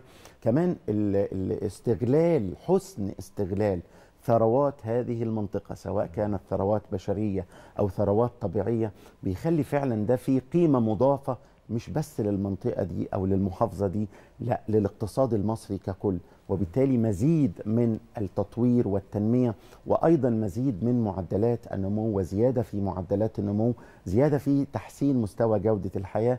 وشفنا مشروعات لما كان السيد رئيس الوزراء بيتكلم شفنا على الشاشة قد إيه كمية المشروعات سواء فيما يتعلق ب تحليه مياه البحر سواء ما يتعلق بمشروعات مياه الصرف الصحي سواء فيما يتعلق بالمشروعات الصناعية الغير مسبوقة من قبل. كل هذه الحزمة من ال ال ال زي بيقولوا الدفعة القوية لتطوير هذه المنطقة وأيضا باقي محافظات جمهورية مصر العربية هو اللي خلانا النهارده الحمد لله نعتبر من الدول العربية مش بس المستقرة امنيا وسياسيا واقتصاديا بفضل الله سبحانه وتعالى إلا إننا بقينا دولة جاذبة لمزيد من الاستثمارات والدليل على ذلك هو قدوم الشركات العربية والأجنبية للاستثمار في مصر. بنشكر حضرتك دكتور ماجد عبد العظيم أستاذ الاقتصاد بجامعة المستقبل نورتنا وشرفتنا وصباح الخير على حضرتك. أنا اللي بشكر حضراتكم وبشكر السادة المشاهدين. شكرا يا دكتور. مشاهدينا خلصت حلقتنا نشوفكم إن شاء الله بكرة في نفس الميعاد صباح الخير عليكم صباح الخير يا مصر. صباح الخير يا مصر.